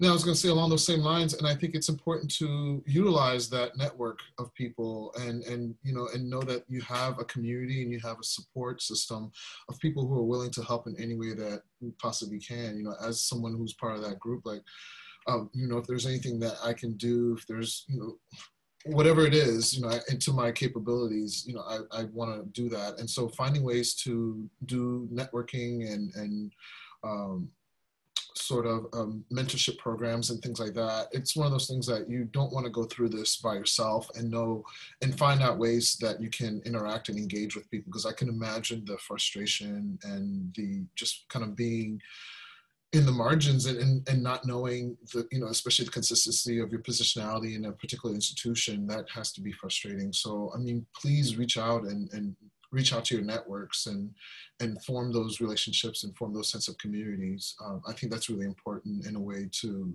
you know to to get through a lot of this. I, th- I think I would also, you know, I, I cannot s- speak to that experience, and uh, but I can turn the lens on myself, and I would ask other scholars who are extremely fortunate and extremely privileged to turn the lens on themselves and ask themselves, what have they done to contribute to these set of circumstances? In what ways are they advocating for their fellow scholars? I hope, although I imagine there are some, I hope fewer and fewer scholars who have tenure track or tenured positions imagine that they are better than everyone else or that it was strictly a meritocratic criteria that brought them there. Um, uh, I feel very fortunate, and I do feel a deep burden and responsibility to mentor, to advocate, and to in in the ways that people reached out and helped me because I was in privileged places. I try to do that with students who don't have the same access and accessibility, and I try to do it consciously. I have to say that it's something that you have that I have to continually remind myself of as well. It's easy to become complacent. It's easy to enjoy the privileges you have or to speak about them as though they're normal. Um, I guess I would add, I don't, I, I was sort of conscious when I was giving my paper that the other panelists talked a little bit about their own, uh, their own background and positional, positionality, and I didn't, um, and I don't really like to, but you know, there's a reason I didn't enter a PhD program. I had, you know, envisioned from undergrad that I would do a PhD in medieval history, and I didn't feel at all supported, and I honestly, it's hard to even think of myself still as a medievalist despite my position. And it took me some time to sort of reorient my vision of my future to special collections and archives. And I don't ever forget how like really privileged I am to be in my current position. And I'm always happy to talk to students who are interested in a career in special collections or archives and how, how they can maybe make that work for them. Yeah, we actually had a question about, uh, sort of a pipeline question about how do you get more students from more diverse backgrounds sort of into the field. I think we've kind of answered it in terms of like, you know, there are networks now that people can reach out to. And um, back to pedagogy, we have a question. Um, we actually have two questions, and I'll just use one because they kind of overlap. Uh, great presentations. Thanks to the panel. a topic that most people will assume is connected to race is the topic of slavery. This was not raised in the presentation, yet there was a lot of slavery in uh, medieval Afro-Eurasia. How do the panelists discuss it?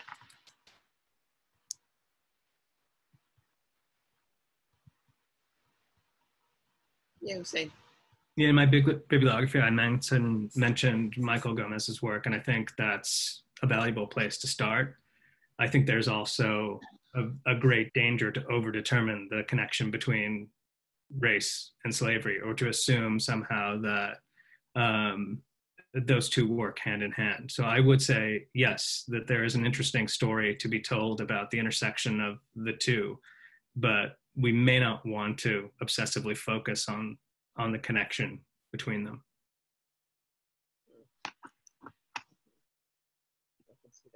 Um, this is another moment um, in my own syllabus where I could I could do some work. Uh, I teach the Arabian Nights in one of the introductory courses, and the students always notice that there are black slaves, and they always notice right um, how the black slaves are being talked about, right? The, the discourse around them, and so we you know I talk about it a little bit, but I'm like I need to unpack this a little bit more, like you know with the students.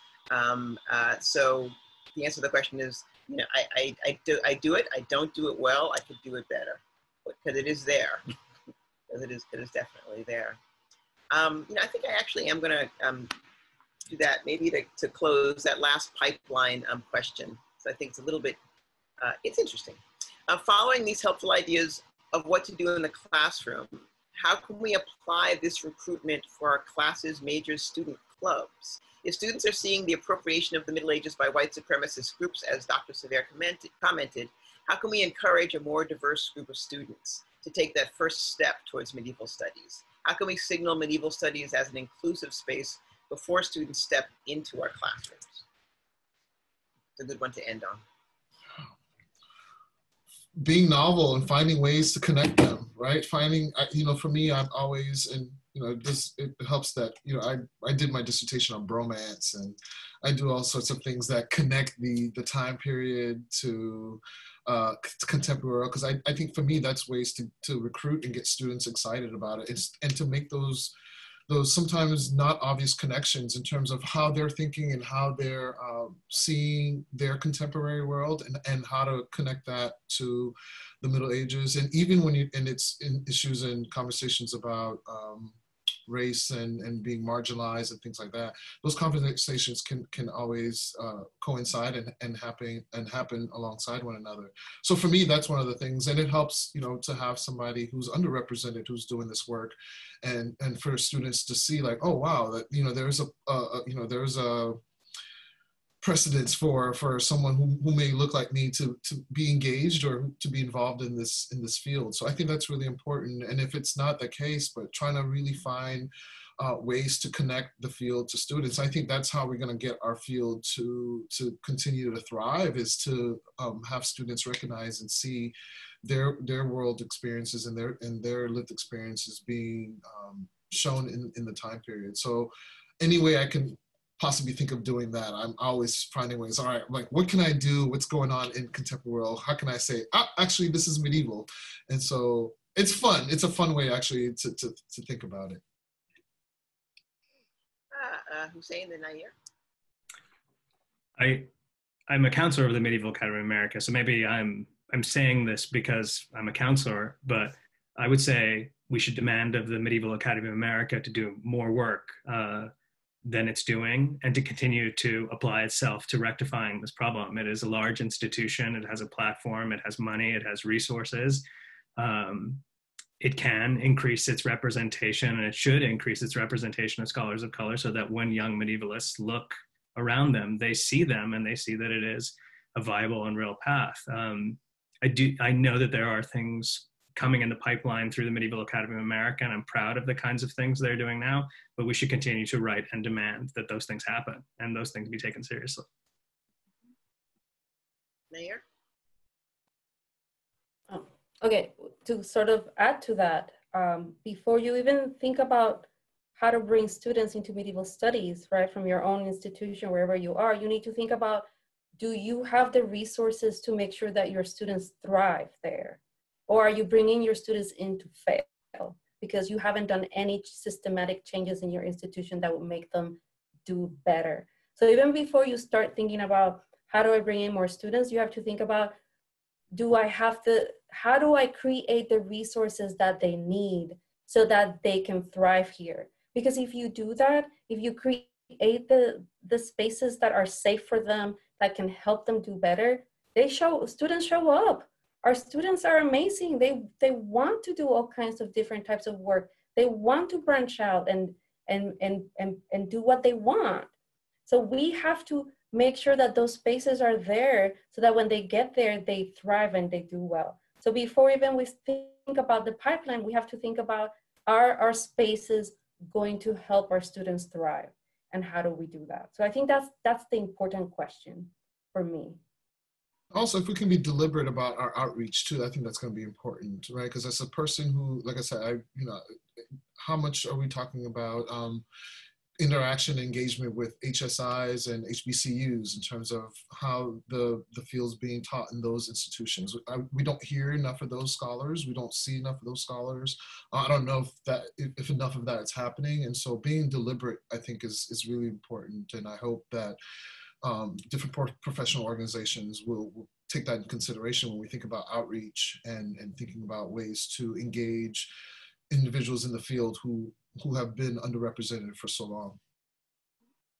Yeah, and I think that starts at K through 12 as well, right? It doesn't just begin when they turn 18. Um, all right, our time has come to an end. So let me just wrap up and then hand it back to over to Lisa Fagan Davis. Um, I would love to continue this conversation with the people in the audience um, about these questions and hopefully when the pandemic is over and when conferences return, we can continue um, these discussions together. Uh, this is clearly just the beginning of a much longer and a more profound conversation. We had over 900 people registered for this event, which I'd like to interpret as interest in this important topic, but also in, in this important turn in medieval studies, the consideration of, of race. So I encourage you all to read or to read further on the topics of race, racism, and teaching in the Middle Ages. We hope to continue the discussion with further webinars. Again, I want to thank um, Geraldine Heng, the Medieval Academy, our participants, and our audience members for um, spending this time with us. Lisa, you want to take it away? Yeah, I'll just wrap things up again, uh, thanking our attendees, of course, our panelists for your time and your efforts, uh, Afrodesia for chairing, and also Geraldine Heng for her role in getting this organized. Uh, I am also grateful to you, uh, Hussein, for your thoughts. I agree with you absolutely that this is work that the Medieval Academy needs to do with intention um, and it's uh, work that we are ready to do and that uh, is going to, um, that has gotten started and will continue to happen as we work to create a field and a Medieval Academy of America where medievalists of color feel that they have a home and where they feel uh, respected and heard and safe and, uh, and welcomed. And I would invite all of our panel, all of our attendees to visit the Medieval Academy website if you are not already a member and um, explore the website and see who we are and what we're doing. Uh, and consider becoming part of the Medieval Academy and joining our community of over 3,500 uh, medievalists worldwide. And then finally, I would invite you to, uh, on our homepage, medievalacademy.org, you will see a link to a webinar tomorrow on best practices in teaching online pedagogy, tools and techniques specifically for medievalists as we all, uh, myself included, work to get our courses online for the fall. You do need to pre-register uh, and this will take place tomorrow from 2 to 5 p.m. Um, Eastern time. And on that note, uh, I will bid you all farewell and I hope to see you tomorrow and I hope we will continue these extremely valuable conversations in the future. Thanks very much.